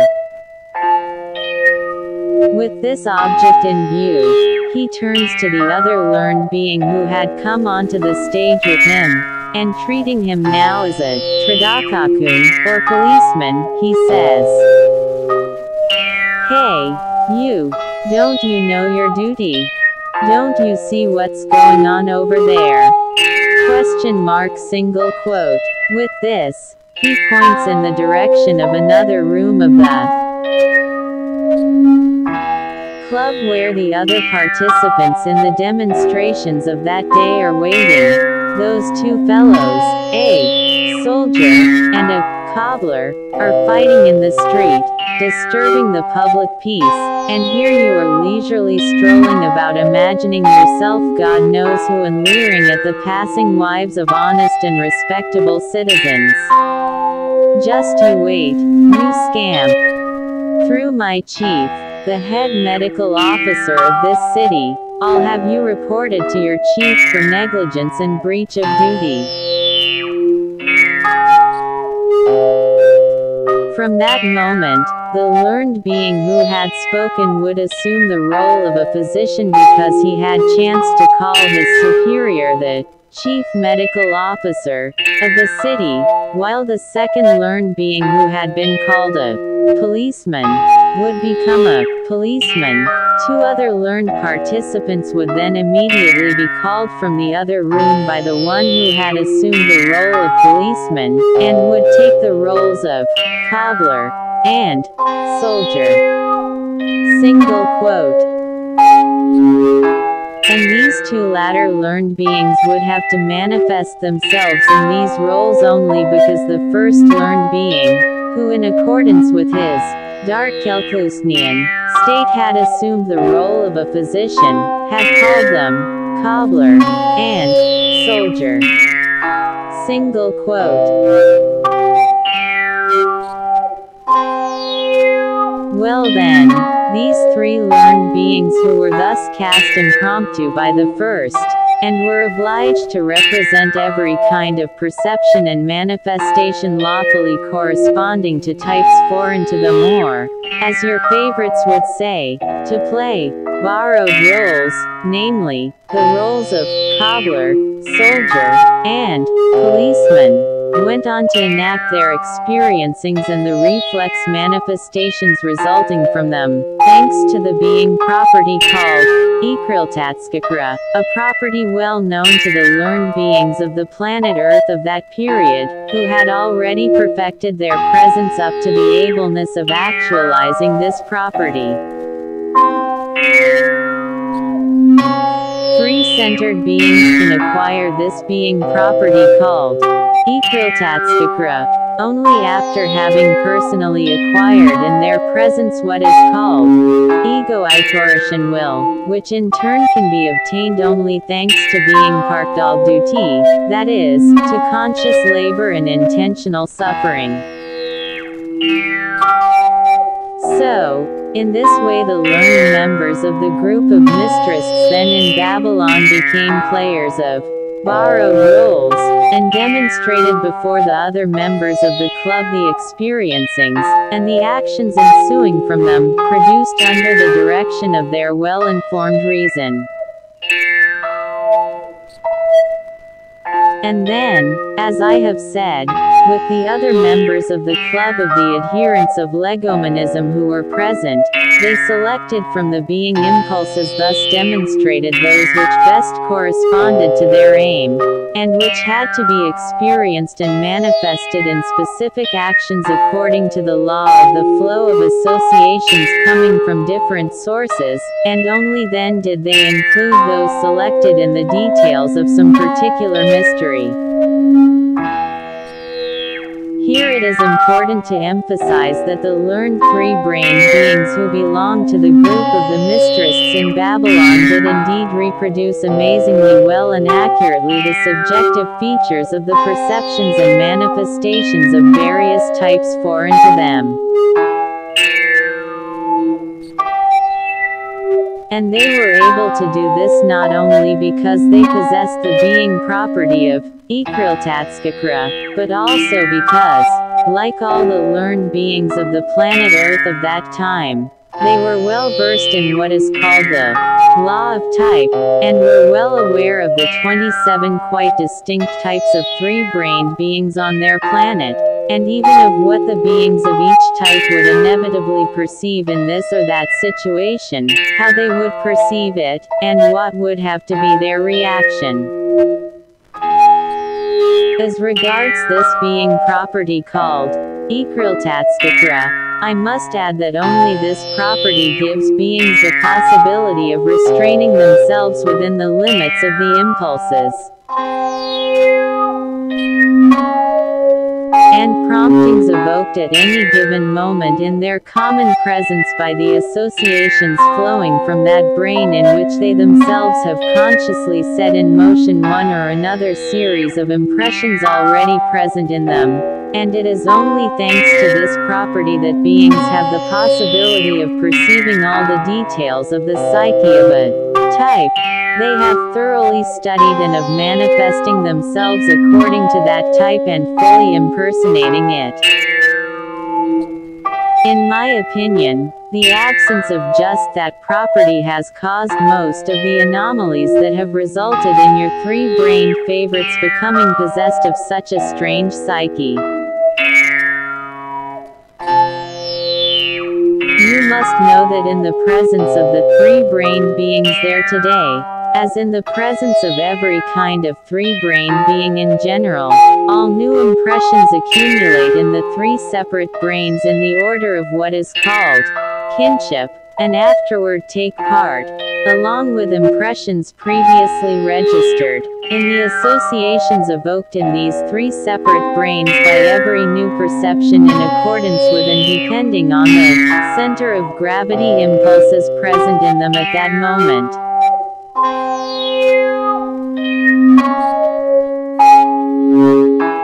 So, my boy, in view of the fact that there is a continuous flow in the presence of your contemporary favorites of three kinds of independent associations, which likewise continue to evoke different kinds of being impulses, and furthermore, that your favorites have entirely ceased to actualize consciously all those cosmic results by means of which alone the being property of Ikriltatskakra can be acquired in three-brained beings. Then in view of all this, the common presence of each of your contemporary favorites during the process of his existence consists, as it were, of three quite separate personalities, which have and can have nothing in common in respect of either the nature of their arising or their manifestations. Hence there proceeds in their common presence that particularity of theirs, which is that with one part of their essence they always wish one thing, at the same time with another part they definitely wish something else, while thanks to the third part, they actually do something quite different.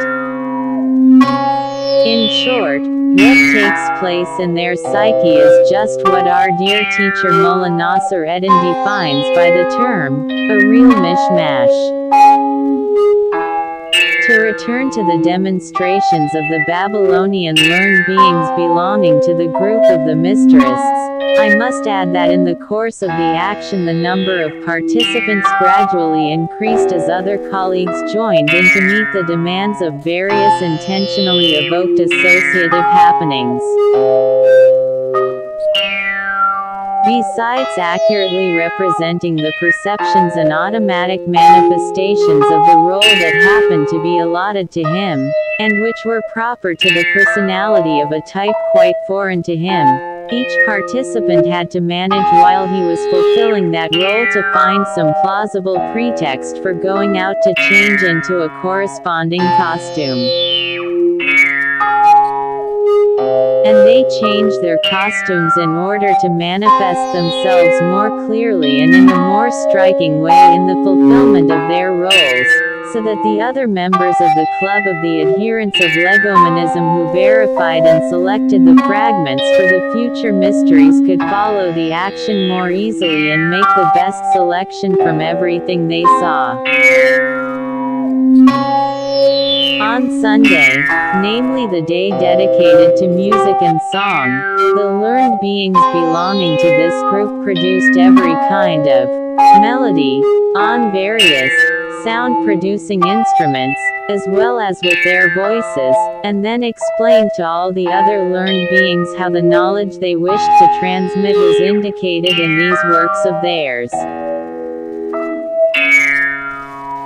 They also had in view to implant these works in the customs of different communities, calculating that the melodies they created, passing from generation to generation, would reach men of the remote future who, in deciphering them, would discover a knowledge attained on the earth long before and use it for the good of their ordinary existence.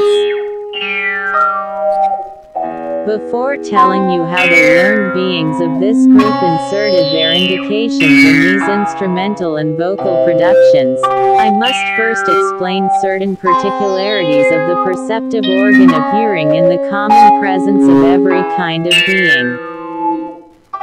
Among these particularities is the property called vibrachanatanko.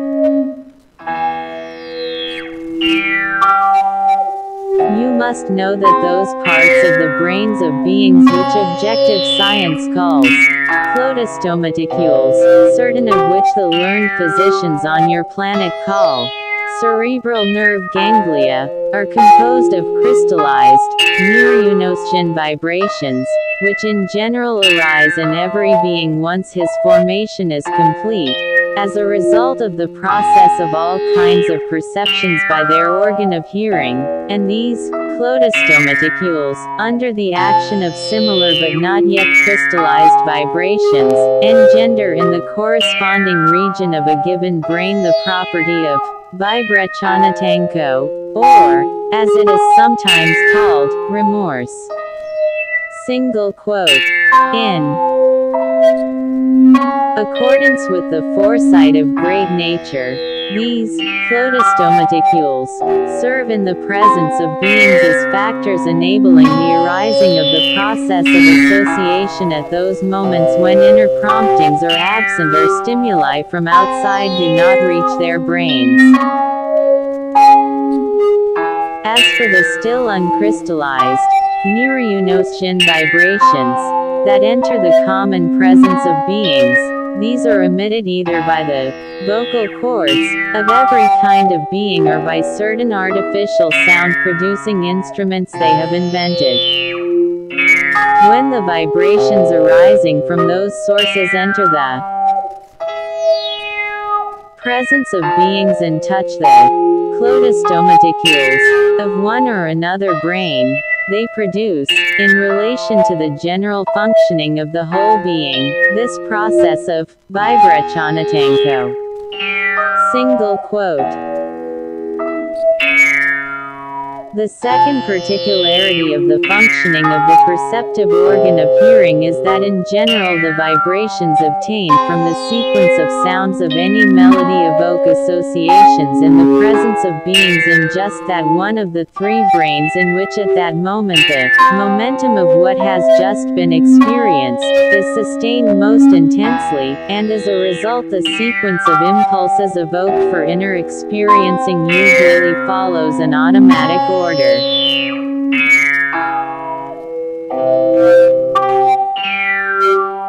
Well then, these learned musicians and singers in the city of Babylon combined their melodies in such a way that the sequence of vibrations of the sounds would evoke in beings a sequence of associations, and therefore impulses for inner experiencings, not in the usual automatic order. That is to say, they combined the melodies so that the sequences of vibrations, on entering into the common presence of beings, would evoke the vibrachonatanko, and the clotostomaticules, not of just one brain, as usually takes place, namely, the brain in which the associations predominate at the given moment, but now in one brain, now in another, and now in the third.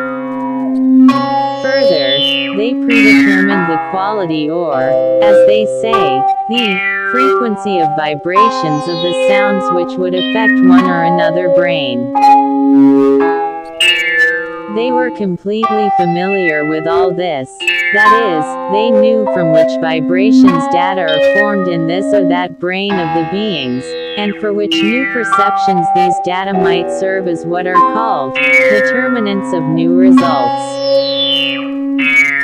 Owing to the combinations of sequences of sounds, there arose simultaneously in the presence of beings different sorts of impulses evoking various contradictory sensations, which in their turn gave rise to unusual experiencings and reflex movements not proper to them. And indeed, my boy, the sequence of sounds they combined did have an exceedingly strange effect on all the beings whose presence they entered, even in me, a being cast, as they would say, in another mold, various being impulses were engendered, and followed one another in an unusual sequence. And this happened because the sounds of their melodies, combined in a definite sequence, upon entering my common presence underwent Dart Klam, or, to put it in another way, the sounds were sorted out, and acted equally upon my clotostomaticules, of all three sources, with the consequence that the associations in my three independent brains, coming from similar but differently, natured series of impressions, although proceeding simultaneously and with an equal intensity, engendered in my presence three quite different promptings. For instance, the localization of my consciousness or, as your favorites would say, my thinking center, engendered in my common presence, let us suppose, the impulse of joy. The second localization in me, or my feeling center, engendered the impulse called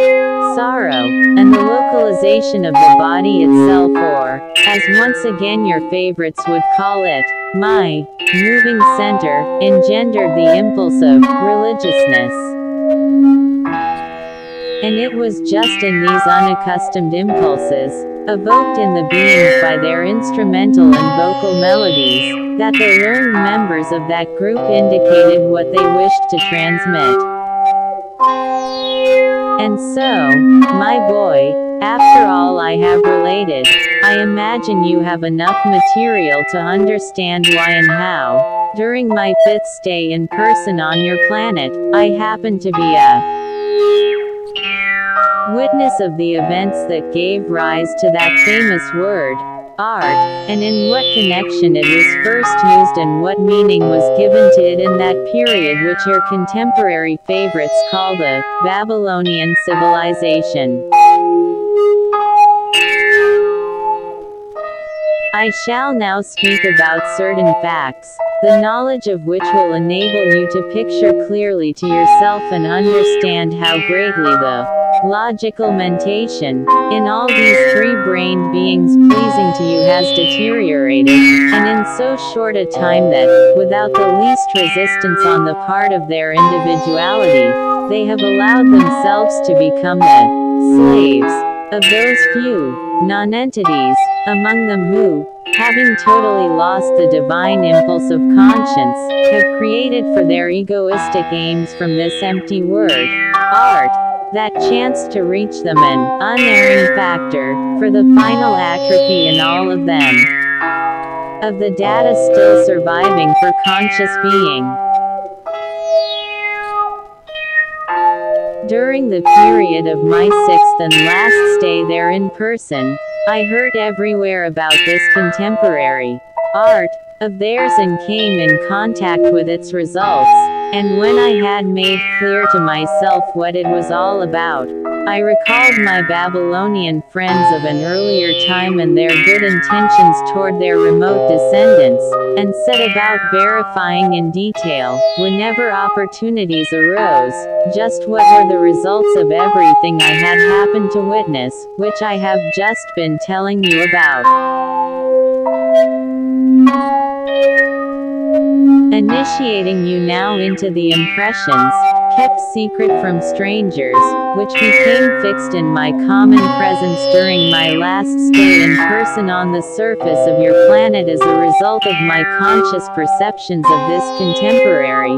art of theirs, my, I, with a profound being impulse of pity, must now emphatically state that of all the fragments of knowledge attained by the beings of the Babylonian civilization, fragments which, it must be admitted were rich in content for the good of ordinary existence, so.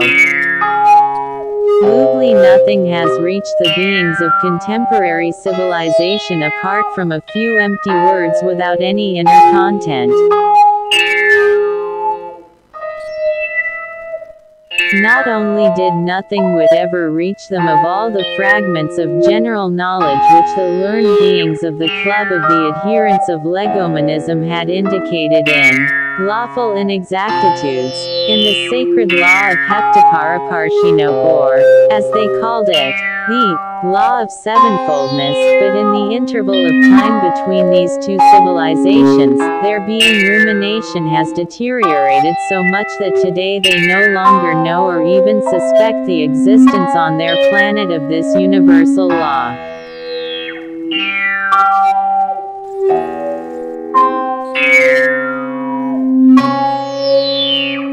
And as regards the word, art, which, thanks to their strange reason, has gotten tangled up during this time with the devil knows what, as they themselves would say. I must tell you that my special investigations made it clear to me that, among other words and expressions used by the learned beings of Babylon which automatically passed from generation to generation, this word, art, happened to get into the vocabulary of certain three-brained beings, in whose presence the consequences of the properties of the organ Kundabuffer had crystallized in a sequence and with a reciprocal action that favored the arising of data in them for the being of Hasnamuss individuals, and as these beings, for some reason or other, happen to like this word, they began using it for their egoistic aims, and gradually turned it into a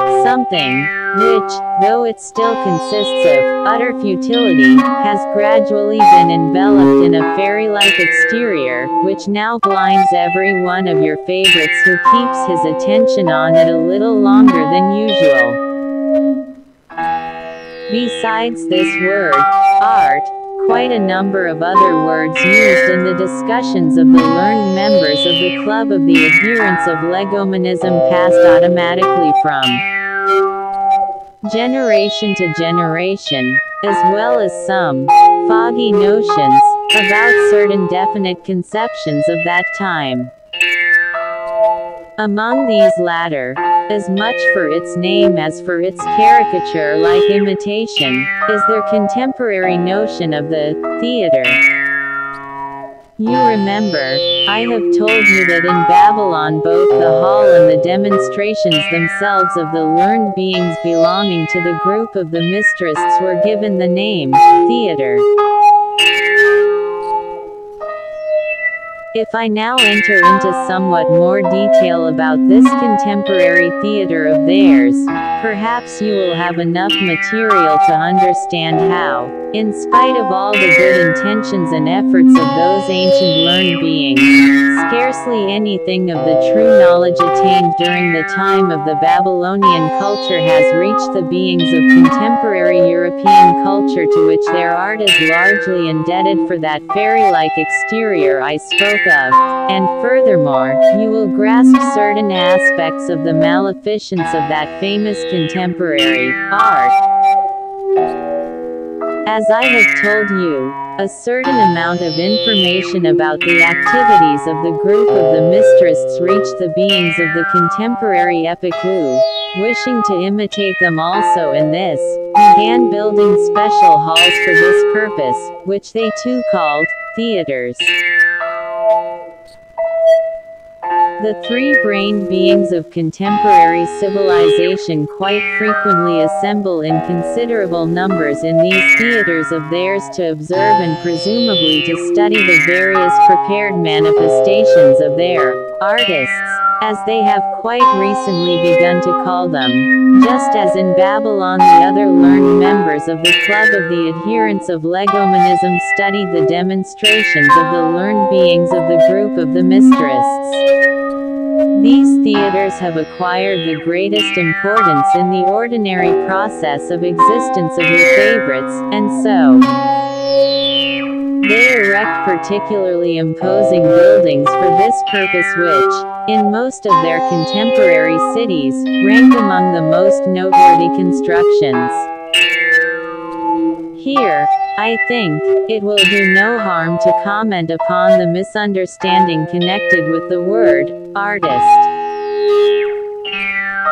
This word was also passed down to your contemporary favorites from the Babylonian epic, not as all the others were, that is, as empty words without any sense, but just as a distant echo of a word formerly used. You must know that at that time the learned members of the club of the adherents of legominism were given a name by the other learned beings, who were well disposed toward them, a name which they adopted for themselves, and which your contemporary favorites would write as, Orpheist. This word was formed from distinct roots of words then in use, which in contemporary times would signify, right, and, essence. If someone was called that, it meant that he, rightly sensed the essence. Single quote. After the Babylonian period, this expression also passed automatically from generation to generation with almost the same meaning, but about two centuries ago, when certain beings with Hasnamussian tendencies began wisecracking about that empty word, art, and when various schools of art arose and everybody considered himself a follower of one or another of those schools, then, since they did not understand the genuine meaning of the word art, and chiefly because one of these schools was named after a certain Orpheus, a figure invented by the ancient Greeks, they decided to coin a new word defining their vocation, more exactly. So in place of the expression, Orpheist,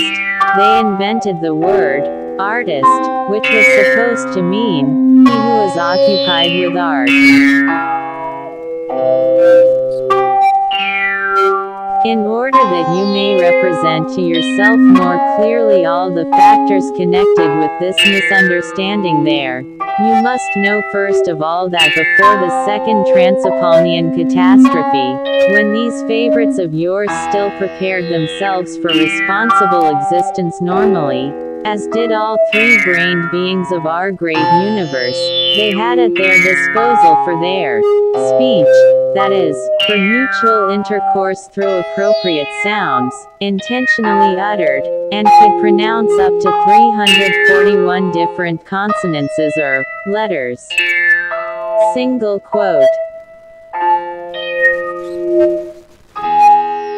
But later on, when thanks as always to the same conditions of ordinary being existence abnormally established by them, every property inherent in the presence of three-brained beings gradually deteriorated. This, beingableness, also deteriorated and at such a rate that the beings of the Babylonian period could use for their conversation only 77 definite sounds and thereafter the deterioration continued so rapidly that five centuries later your favorites could pronounce at most only 36 different letters, and the beings of certain communities could not articulate even this small number of separate sounds.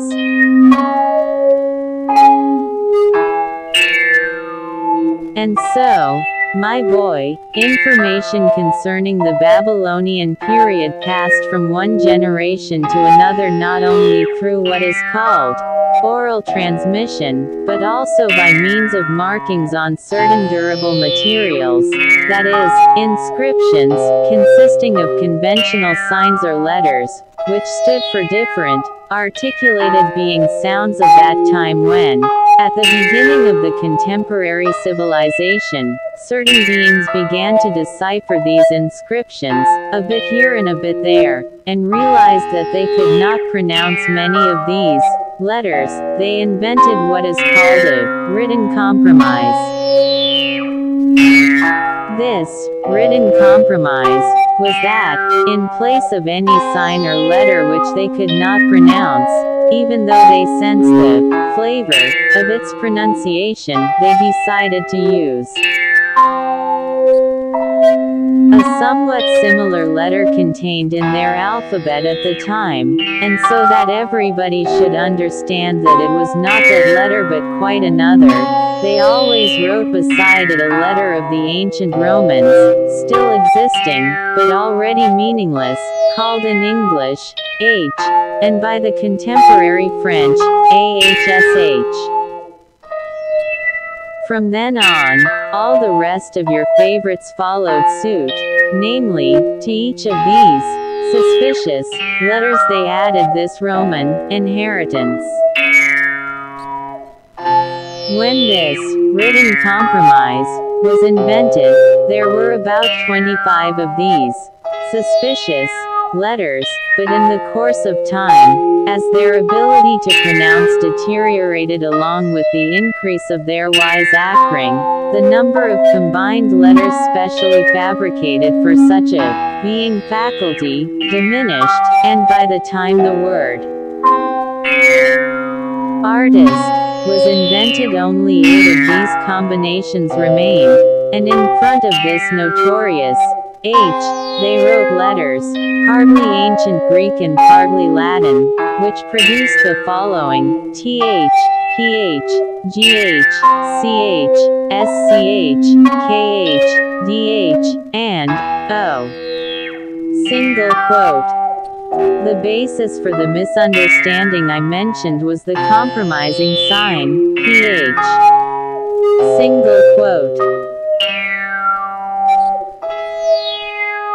And this was so because this sign appeared both in the word by which the learned mysterists were designated and in the word which stood for a personality invented by the ancient Greeks, with whose name, as I have already said, one of their schools of art had been connected. The result was that the representatives of terrestrial art I spoke of, with their quite bob-tailed reason, then thought that this word merely indicated the followers of the historical personality, Orpheus, and since many of them did not consider themselves his followers, they invented the word artist in its place. As you see, not every legacy of the ancient Romans turned out to be maleficent, since in the present case their little letter, h, even became an inspiring factor for engendering in the presence of beings of subsequent generations, already without any initiative or ability of their own, the being power, to substitute for the long established expression, Orpheist, this new word, artist. Here I must tell you about something very strange concerning the gradual atrophy in the presence of all the terrestrial three-brained beings there of this, being ableness to reproduce the sounds required for verbal intercourse. The point is that the deterioration of this capacity does not proceed at the same rate in the psychic and organic functioning of the planetary bodies of all the beings in every generation, but it alternates, as it were, at different times and on different parts of the surface of this planet, affecting at one time more the psychic and at another time more the organic part of the functioning of their planetary body.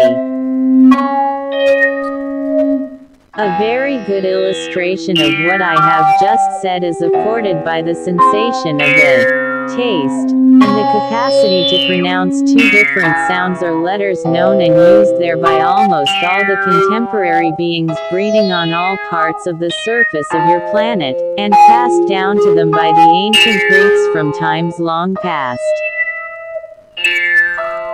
These two letters were called by the ancient Greeks, theta, and delta. Here it is interesting to note that your favorites of very ancient times used these two letters in the formation of words having two quite opposite meanings. To be precise, they used the letter theta in words expressing ideas relating to the idea of good, and the letter delta in words relating to the idea of evil, as for example, theos, meaning God, and daemonion, meaning demon. The meaning of these two letters, as well as the taste of their consonants, passed to all the beings of contemporary civilization, but for some reason or other they indicated these two different letters, having entirely opposite essences, by means of one and the same sign, namely, the sign, th. Single quote. The beings of a large contemporary community called Russia, however hard they try, cannot pronounce these two letters at all, yet they are clearly aware of their difference, and whenever they have to use them in words expressing a definite idea, even though the sounds they make do not correspond to these letters in the least, they sense the difference between them correctly and never use one letter for the other. On the other hand, the beings of the contemporary community called England still pronounce both these letters in almost the same way as the ancient Greeks, but they sense no difference in them, and for words of entirely opposite meanings, they employ, without the least embarrassment, one and the same conventional sign, in the form of their famous th.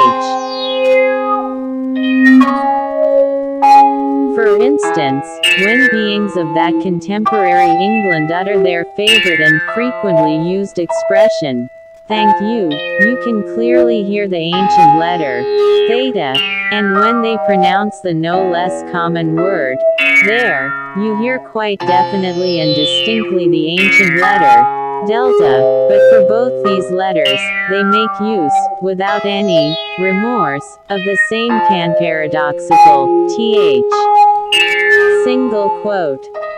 Well, I think that's enough about terrestrial philology.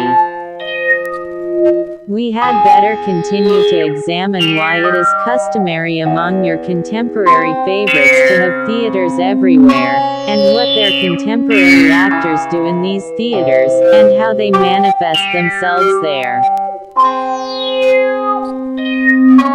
Their custom of assembling in theaters, often in large groups, arose in my opinion because these theaters and all that goes on in them happen to correspond very well to the abnormally formed common presence of most of your favorites, who have entirely lost the need proper to three brain beings to actualize their own initiative in everything, and who exist solely in accordance with accidental shocks.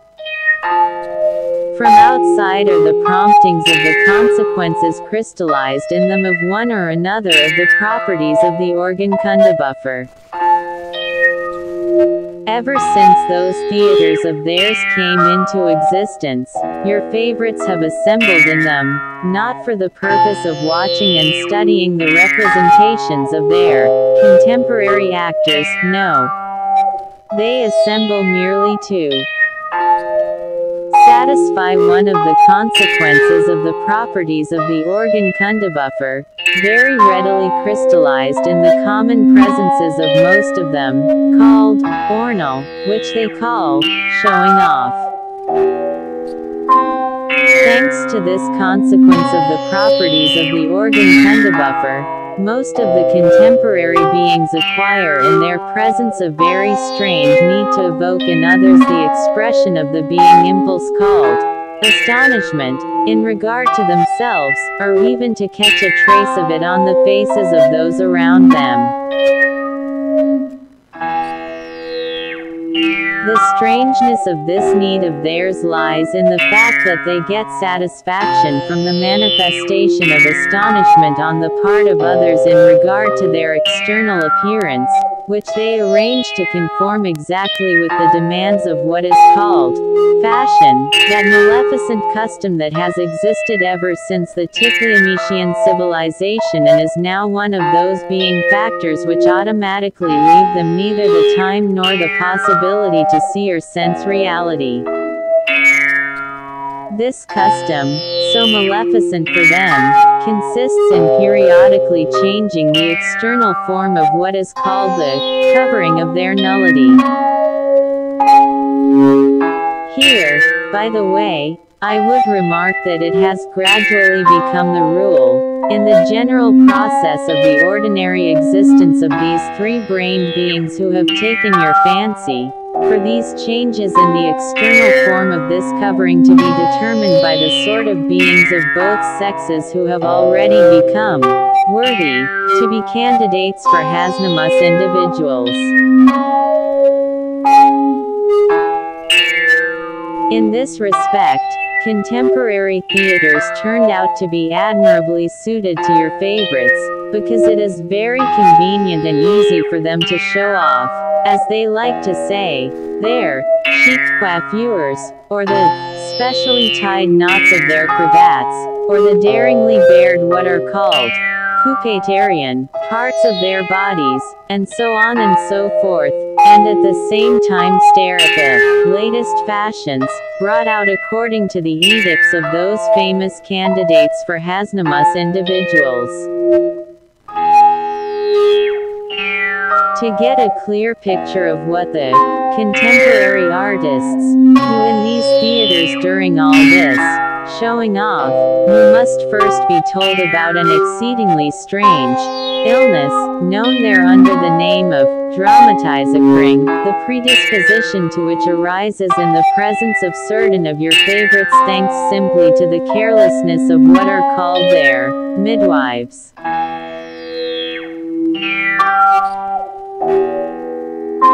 The criminal carelessness on the part of the midwife in most instances consists of this before doing her job. She calls on the way at the houses of her other clients and drinks rather more wine than is good for her, so that while fulfilling her obligations she unconsciously mutters certain words fixed in the process of the ordinary existence of your favorites like the incantations of what are called magicians, and the unfortunate new being, at the very moment of its appearance, as they say, in God's world, first imbibes the words of this maleficent incantation, formulated as follows F. You, what a mess you've made. And so, my boy, thanks to this criminal carelessness on the part of the midwife, the unfortunate new being acquires in his presence that predisposition to the strange illness I mentioned. When one of these three brain beings, who at his first breath has acquired this predisposition to dramatize a cring, reaches the age of a responsible being, if he should know how to write even a little and has the wish to do so, he suddenly gets this strange illness, and begins wisecracking on paper or, as is said there, composing various dramas. Single quote. The subjects of these works are usually some events or other which are supposed to have occurred in the past or might occur in the future, are simply events of contemporary unreality. In the common presence of the sick being, there also appear in the course of this peculiar malady seven very specific symptoms. The first is that, when this strange illness arises and begins to function in the presence of a being, particular vibrations are spread around him which act on those near him, as they say, exactly like the smell of an old goat. The second is that, as a result of the change in the inner functioning of such a being, the exterior form of his planetary body undergoes the following changes his nose is held aloft, his arms, as is said, akimbo, his speech is punctuated by a special little cough, and so on. The third, that such a being is always terrified of certain perfectly harmless formations, natural or artificial, as for instance, a mouse, a clenched fist, the stage manager's wife, a pimple on his own nose, his own wife's left slipper, and any number of other things. The fourth symptom causes him to lose entirely all capacity for understanding the psyche of beings like himself. The fifth consists in this, that inwardly and in his outer manifestation he criticizes everybody and everything that does not come from himself. As for the sixth, the data necessary for the perception of anything objective are more atrophied in him than in all other terrestrial three-brained beings.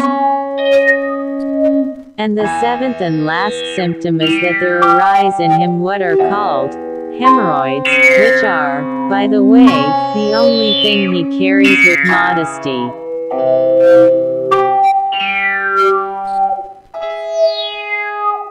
Further, it usually happens that if the sick being has an uncle who is a member of one or another of their parliaments, or has struck up an acquaintance with the widow of a former businessman, or, if for some reason the period of his preparation for becoming a responsible being has been spent in an environment or in conditions where he has automatically acquired the property called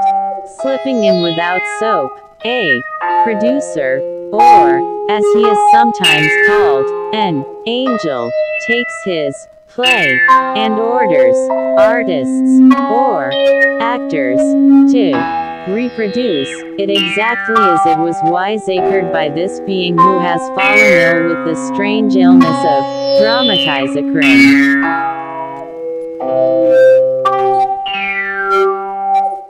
And these contemporary actors first reproduce this work among themselves, without spectators, and do this over and over again until it corresponds exactly to the indications of the sick being and the orders of the director. And finally, when all this proceeds without the participation of the consciousness and feelings of the actors, who are completely transformed into living automatons, then with the help of those who have not yet become complete automatons, for which reason they acquire the name of stage managers, they go through the same procedure, but now in the presence of other ordinary beings assembled in these contemporary theaters of theirs.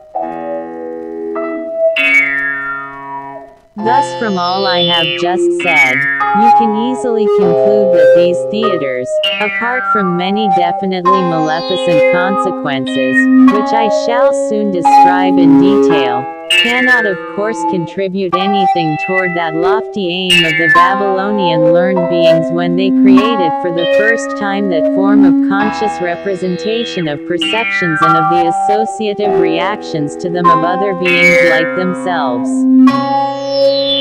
All the same, it must be admitted that these theaters and contemporary actors, of course accidentally, did provide for the process of their ordinary being existence one, not so bad, result. To understand what this, not so bad, result consists of, I must first explain another particularity that has become proper to the common presence of beings who arise according to the principle of Itoklanoz. Single quote. According to this principle, the elaboration in the presence of these beings of the energy necessary for what is called their waking state depends on the quality of the associations proceeding in them during their complete passivity or, as your favorites say, during sleep, and vice versa. The energy needed to make this sleep productive is elaborated from the associative process going on in them during the waking state, which in its turn is dependent on the quality or intensity of their activity. And this was the case for those terrestrial three-brained beings ever since great nature was compelled, as I have already told you, to replace the Foolasnitamnian principle which until then had been proper to their presence with the principle of Itoklanoz. Thereupon there was acquired and still remains in the process of their existence the particularity that if, as they say, they sleep well, they will be awake well, and vice versa. If their waking state is bad, they will also sleep badly. Single quote.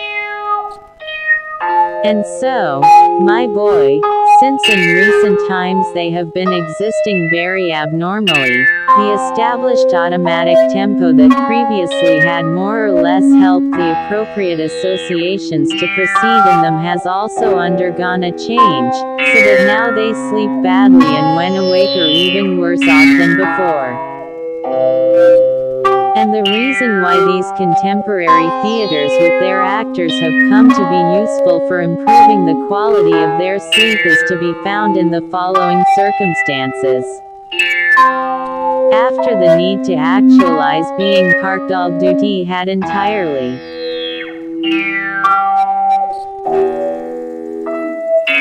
disappeared from the presence of most of them, and all the associations of unavoidably perceived shocks began to flow during their waking state only from various, already automatized series of former imprints made up of impressions experienced long ago, and endlessly repeated, there disappeared in them even the instinctive need to receive all sorts of new shocks, vital for three-brained beings, which issue either from their inner, separately spiritualized being parts or from corresponding perceptions coming from without for conscious associations, namely, for those being associations upon which depends the intensity of transformation of every kind of being energy, in the presence of beings. In the last three centuries the very process of their existence has become such that in the presence of most of them there have almost ceased to arise during their daily existence any of those, being confrontative associations which usually proceed in three-brained beings as a result of every kind of new perception, and from which alone data can crystallize in them for their own individuality. Well then, when your favorites, leading their daily lives in this manner, go to these present-day theaters and watch the senseless manipulations of the actors, and receive shocks one after another from reminiscences of previously perceived images, no less senseless and absurd, there willy-nilly appear in them during this waking state of theirs more or less tolerable being associations, so that when they get home and go to bed they sleep much better than usual. But although these contemporary theaters with all that goes on in them happen to be an excellent means for helping your favorites to sleep better, of course only for today, the objectively evil consequences they entail for beings, particularly for the rising generation, are incalculable. The greatest harm done by these theaters is that they serve as an additional factor for the complete destruction in three-brained beings of all possibilities of ever feeling a need proper to them called the need for real perceptions. And they have become such a maleficent factor chiefly because of the following. When they go to their theaters and, sitting quietly, watch the varied yet senseless manipulations and manifestations of contemporary actors, although they are in their usual waking state, all their associations, whether mental or emotional, proceed in them exactly as they do during their complete passivity or sleep.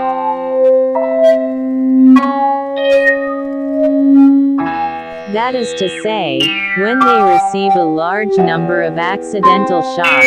which stimulate other shocks ensuing from perceptions previously fixed and automatized in a series of impressions, and when there is projected onto them the functioning of the organs of digestion and sex, all this hinders the flow of those conscious being associations which, pitiable as they are, have somehow become automatized to produce in them a more or less correct tempo for the transformation of the substances required for their passive existence, during which the substances required for their active existence must be transformed.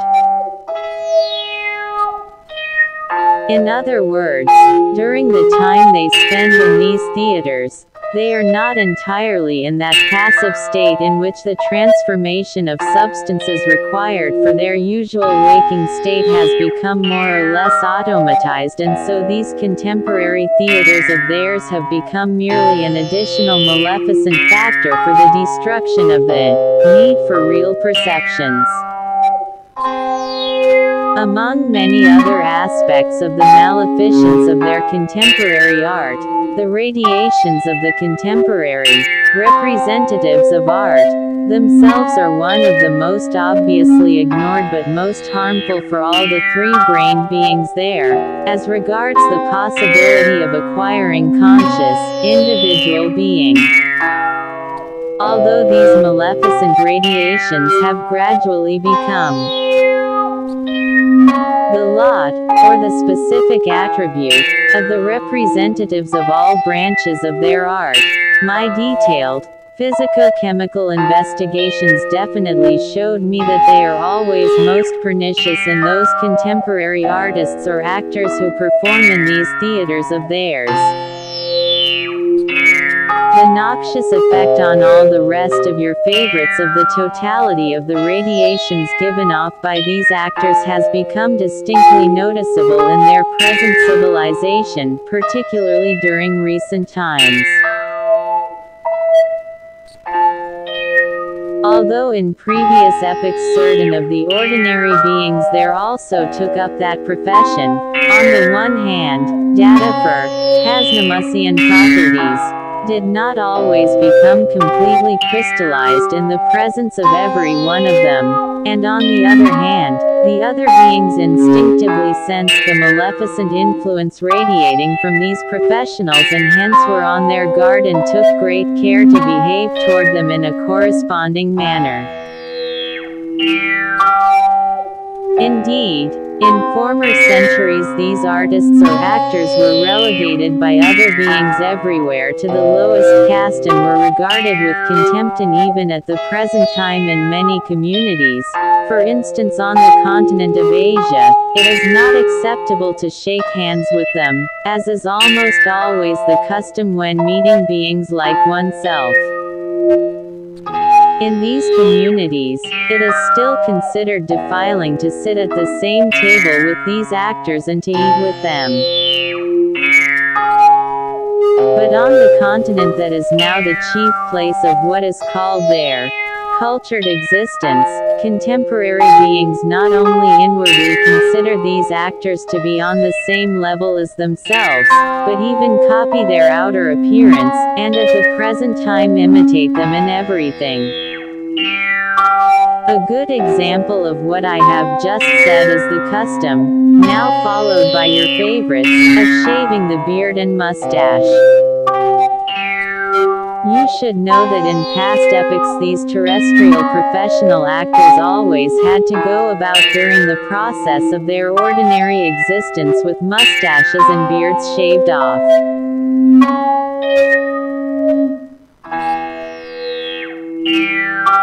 And they had to shave off these expressors of their masculinity and activity, first of all because, constantly playing the roles of other beings, they often had to change their appearance, putting suitable makeup on their faces and wearing wigs and false mustaches and beards, which they could not possibly have done with their own beards and mustaches, and second, because the ordinary beings of all the former communities there, considering such actors dirty and a harmful influence and fearing that they might not recognize them if they chanced to meet them in ordinary conditions of existence and might inadvertently touch them, promulgated everywhere a strict ordinance requiring professional actors always to shave off their mustaches and beards in order to be unmistakable for other beings.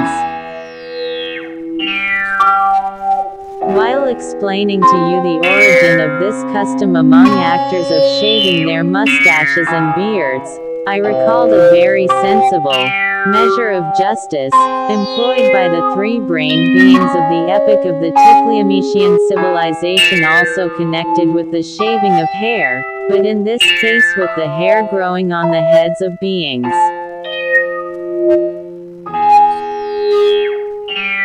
A law was then established and strictly enforced which decreed that those petty criminals who, after trial by seven elderly beings of the given district, had been found guilty of some immorality, or crime, belonging to one of four previously established categories, the sort of criminals with whom all their prisons are usually crammed today, had always to go about everywhere for a definite term with one of four sides of their heads shaven, and furthermore, any such convicted being was obliged to uncover his head whenever he met or spoke with others. It is interesting to note that there then existed another law, comparable to the one about shaving the head, in regard to the immoral behavior of women. In regard to the women, a decree existed that was also very strictly enforced, subject in this instance to the jurisdiction of seven elderly local women who had earned respect by their previous conduct and the penalties for women applied to four manifestations that were then considered as the greatest laxity and immorality. For instance, if all the neighbors noticed that some woman had behaved negligently and without due regard to her family duties, and if the seven elderly women confirmed it, then, according to this law, for a definite term wherever she went she had to appear with painted lips. And if various women noticed that she had begun to manifest a weakening of her maternal instinct toward her children, she was condemned according to this law to go about everywhere, also for a definite term, with the left half other face made up and painted white and red. And if, Following the same procedure, it was established that a woman manifested an inclination to avert the possibility of conceiving a new being for the prolongation of her species. She was condemned to appear before others with her face made up and also painted white and red, but this time only on the right halt. And as for a woman who attempted to violate her chief wifely duty, that is, who deceived or even had the intention of deceiving her legal husband or who attempted to destroy a new being conceived in her. She was obliged by the same procedure, and also for a definite term, to go about everywhere made up and painted white and red, this time over the whole of her face. Quote, at this point in his tale, Beelzebub was interrupted by a Ahoon with the following words. Your right reverence all your explanations concerning terrestrial art and those three-brained beings who are, so to say, its representatives, and particularly your elucidations about the contemporary, comedians, or actors, have prompted me to make use of the impressions fixed in my common presence and perceived during my last stay on the surface of the planet Earth, in order to give our dear Hassein some good and practical advice. Quote, Having said this, Ahoon was about to look expectantly at the face of Beelzebub with his usual unblinking gaze, but noticing the familiar smile, always sorrowful yet kind and indulgent, he turned in some confusion toward Hassein and, without waiting for permission, spoke as follows. Who knows? Maybe, dear Hassein, you too will one day visit that planet Earth and have to exist among those peculiar three-brained beings who have taken your fancy. Quote. And then, still keeping to the style and intonation of Beelzebub himself, he went on. It is for this very reason that I now wish to initiate you into the results of certain impressions I involuntarily received of the various types of those contemporary representatives of art, as well as the peculiarities of their manifestations.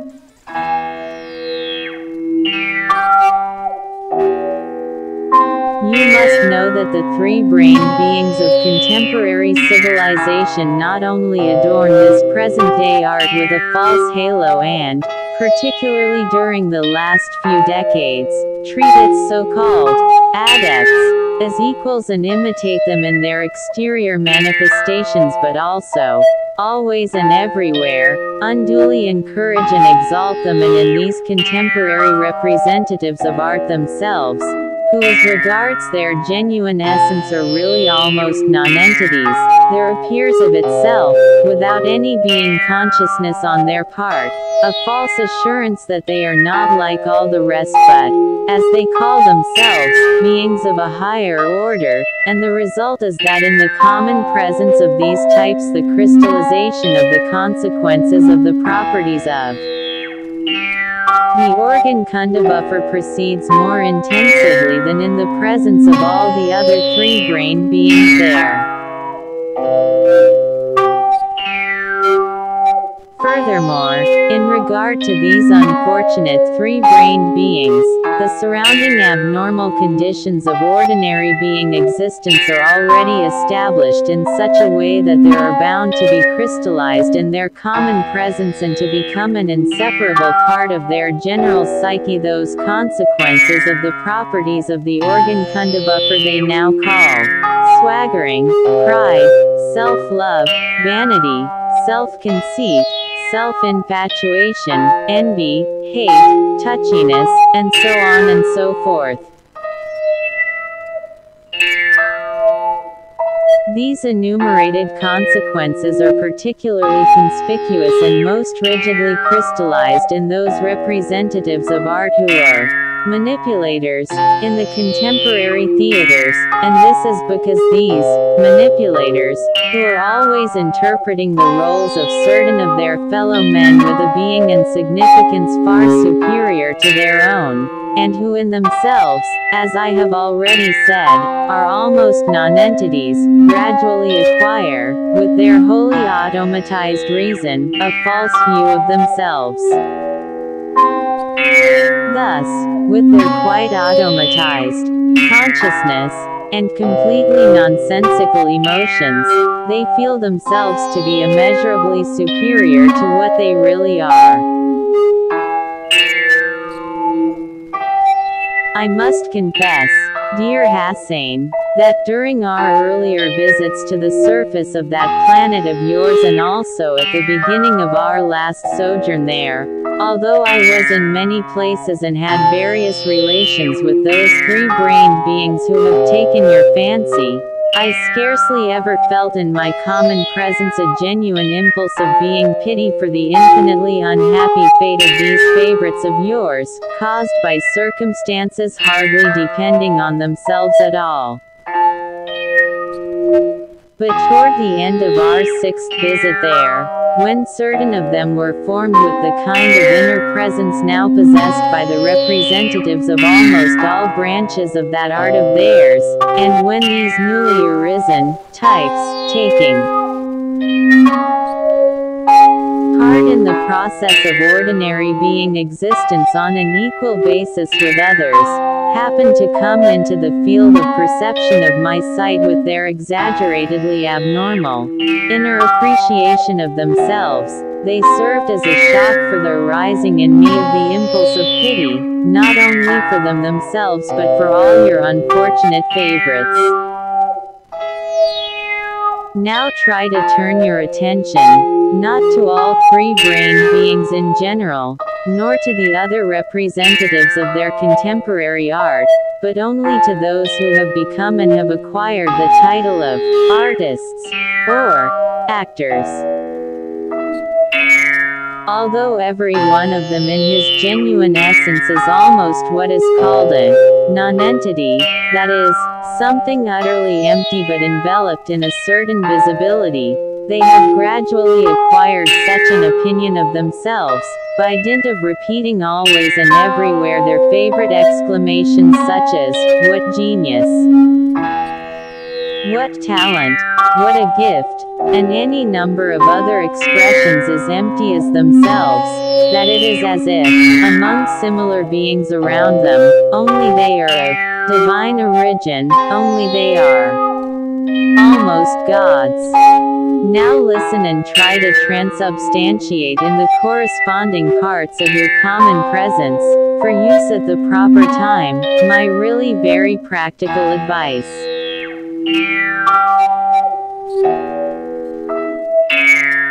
This practical advice is that if for some reason you should have to exist, particularly in the near future, among the three-brained beings of that planet Earth which has taken your fancy, and I say in the near future, because the presence of these favorites of yours as well as all the external conditions of their ordinary being existence frequently degenerate, and if you should engage, as is proper to every conscious three-brained being, in some enterprise or other having as its aim the welfare of beings around you, and whose fulfillment depends partly on them themselves, then in whatever community of contemporary civilization you may be in whatever circles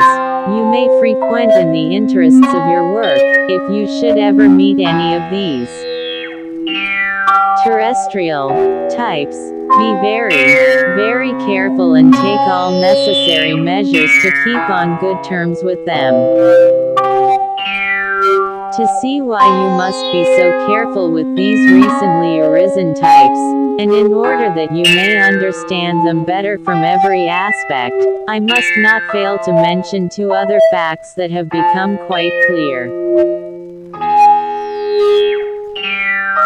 The first is that, owing as always to the conditions of ordinary being existence abnormally established there, and also to the fictitiously inflated, maleficent idea of their famous art, these representatives of art, in the preconceived picturings and notions of the other three-brained beings, gradually become crowned with an imaginary halo, and thereby automatically acquire such authority that any opinion they express is considered beyond dispute. And the second fact is that during their formation these recently arisen types acquire an inner presence that permits them, quite unconsciously on their part, just as easily to become somebody's slave as through accidental outer conditions to become his worst enemy. That is why I advise you to be very much on guard not to make enemies among them, so as not to stir up a lot of trouble for yourself in carrying out your affairs. Well then, our dear Hassein, the very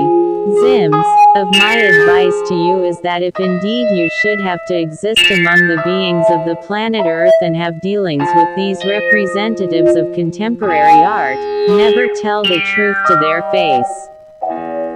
May you be preserved from such a fate. Any truth makes these terrestrial types extremely indignant, and their animosity toward others almost always begins from this indignation you must only say to their face the sort of things that tickle, those consequences of the properties of the organ kundabuffer, infallibly crystallized in them, which I have already enumerated, namely, envy, pride, self-love, vanity, lying, and so on. And, as I noticed during my stay there, the means of tickling which never fail to act on the psyche of these unfortunate favorites of yours are the following. Suppose that one of these representatives of art has a face like a crocodile, be sure to tell him that he is the living picture of a bird of paradise. If one of them is as stupid as a cork, say that he has the mind of Pythagoras. If he has behaved in a certain matter like a super idiot, tell him that even that cunning fellow Lucifer could not have handled it better. Suppose that from his appearance you see signs that he has several terrestrial diseases from which he is rotting day by day, then, with an expression of astonishment on your face, ask him, Do, tell me please, what is your secret for always looking so fresh, like, peaches and cream, and so on. Only remember one thing, never tell the truth. Although you have to behave like this toward all the beings of that planet, it is indispensable toward the representatives of all the branches of contemporary art. Having finished speaking, Ahoon, smirking like a suburban matchmaker at the wedding of a client, or the proprietress of a Paris fashion house seated in an ultra-chic cafe, began rearranging the curls of his tail. Hassein looked at him with his usual smile full of sincere gratitude and said, Many thanks to you, dear Ahoon, both for your advice and for your clarification of certain details of the strange psyche of the three-brained beings on that thoroughly ill-treated planet of our great universe. And then turning to Beelzebub he addressed him in the following words, Please, kind grandfather, tell me. Is it really possible that all the intentions and efforts of those Babylonian learned beings have come to nothing, and that of all those fragments of knowledge then known on the earth, nothing would ever has reached the contemporary three-brained beings? To this question of his grandson, Beelzebub replied, Indeed, my boy, to the great sorrow of everything existing in the universe, Scarcely anything has survived from the results of their labors, and hence nothing has been inherited by your contemporary favorites. The information they indicated in the manner I described passed from generation to generation for only a few of their centuries.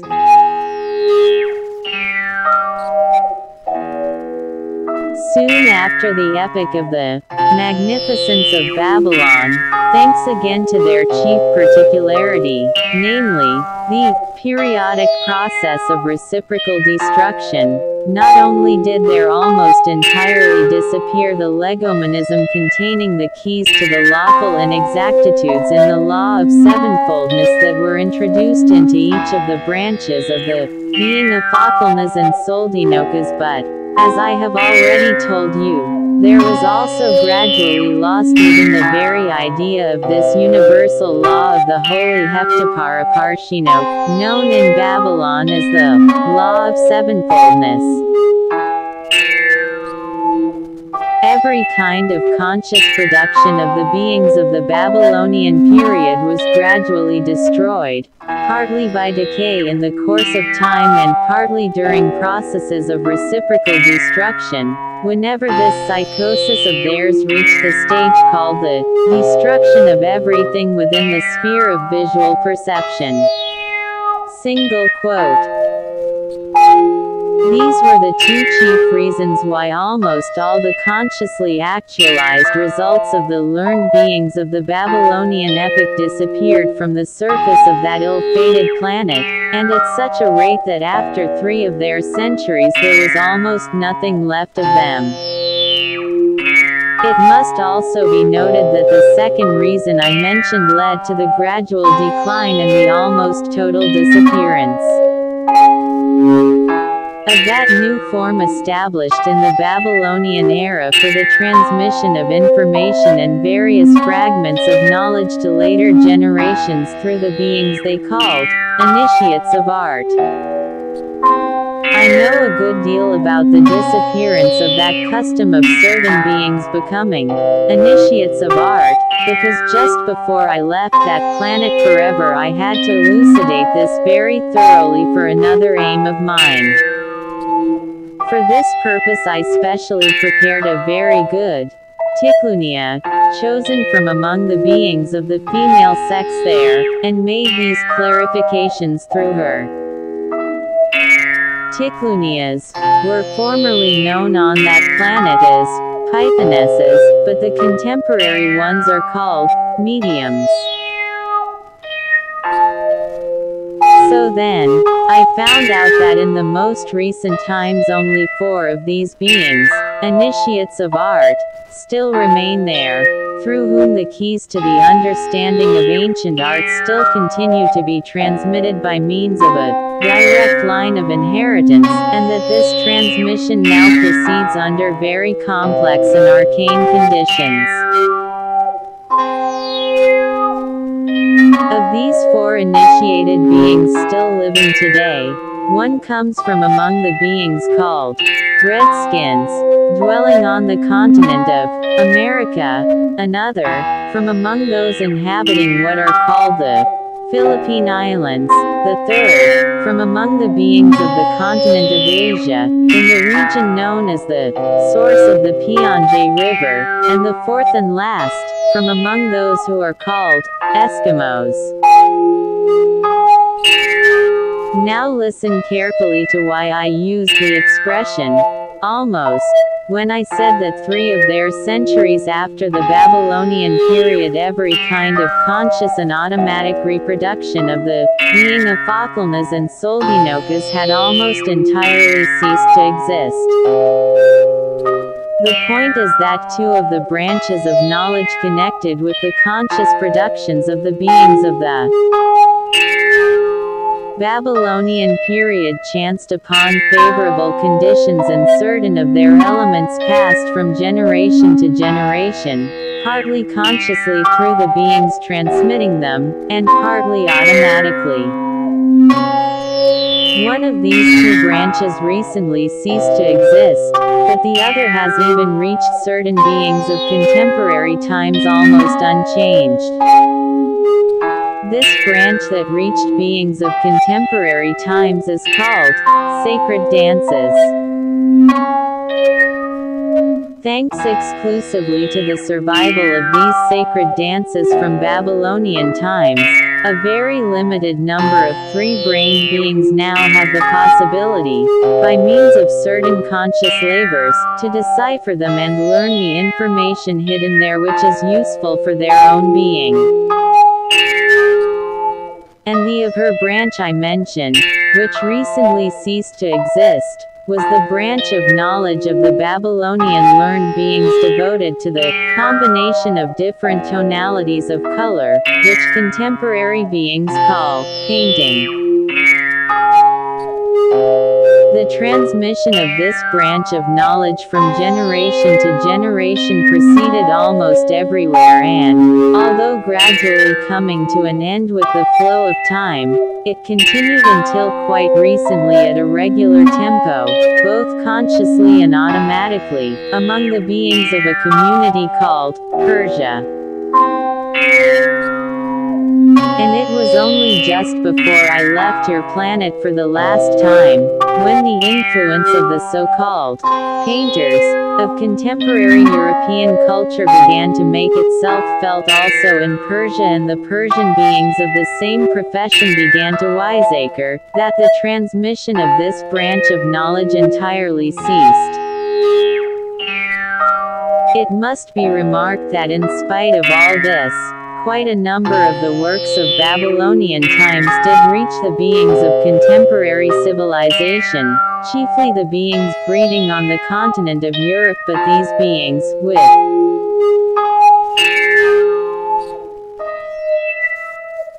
out suspecting the well of wisdom, concealed in these works, which were not originals, but only partially decayed copies made by their recent ancestors, who were not yet complete, plagiarists, and without taking the appropriate practical measures to safeguard them, simply stuffed them into what are called museums, and there, little by little these works have been either totally destroyed or partially mutilated by frequent copyings with various corrosive and oxidizing compositions such as alabaster, fish glue, and so on, only in order that the copyists might swagger before their friends or fool their teachers, or achieve some other Hasnamussian aim.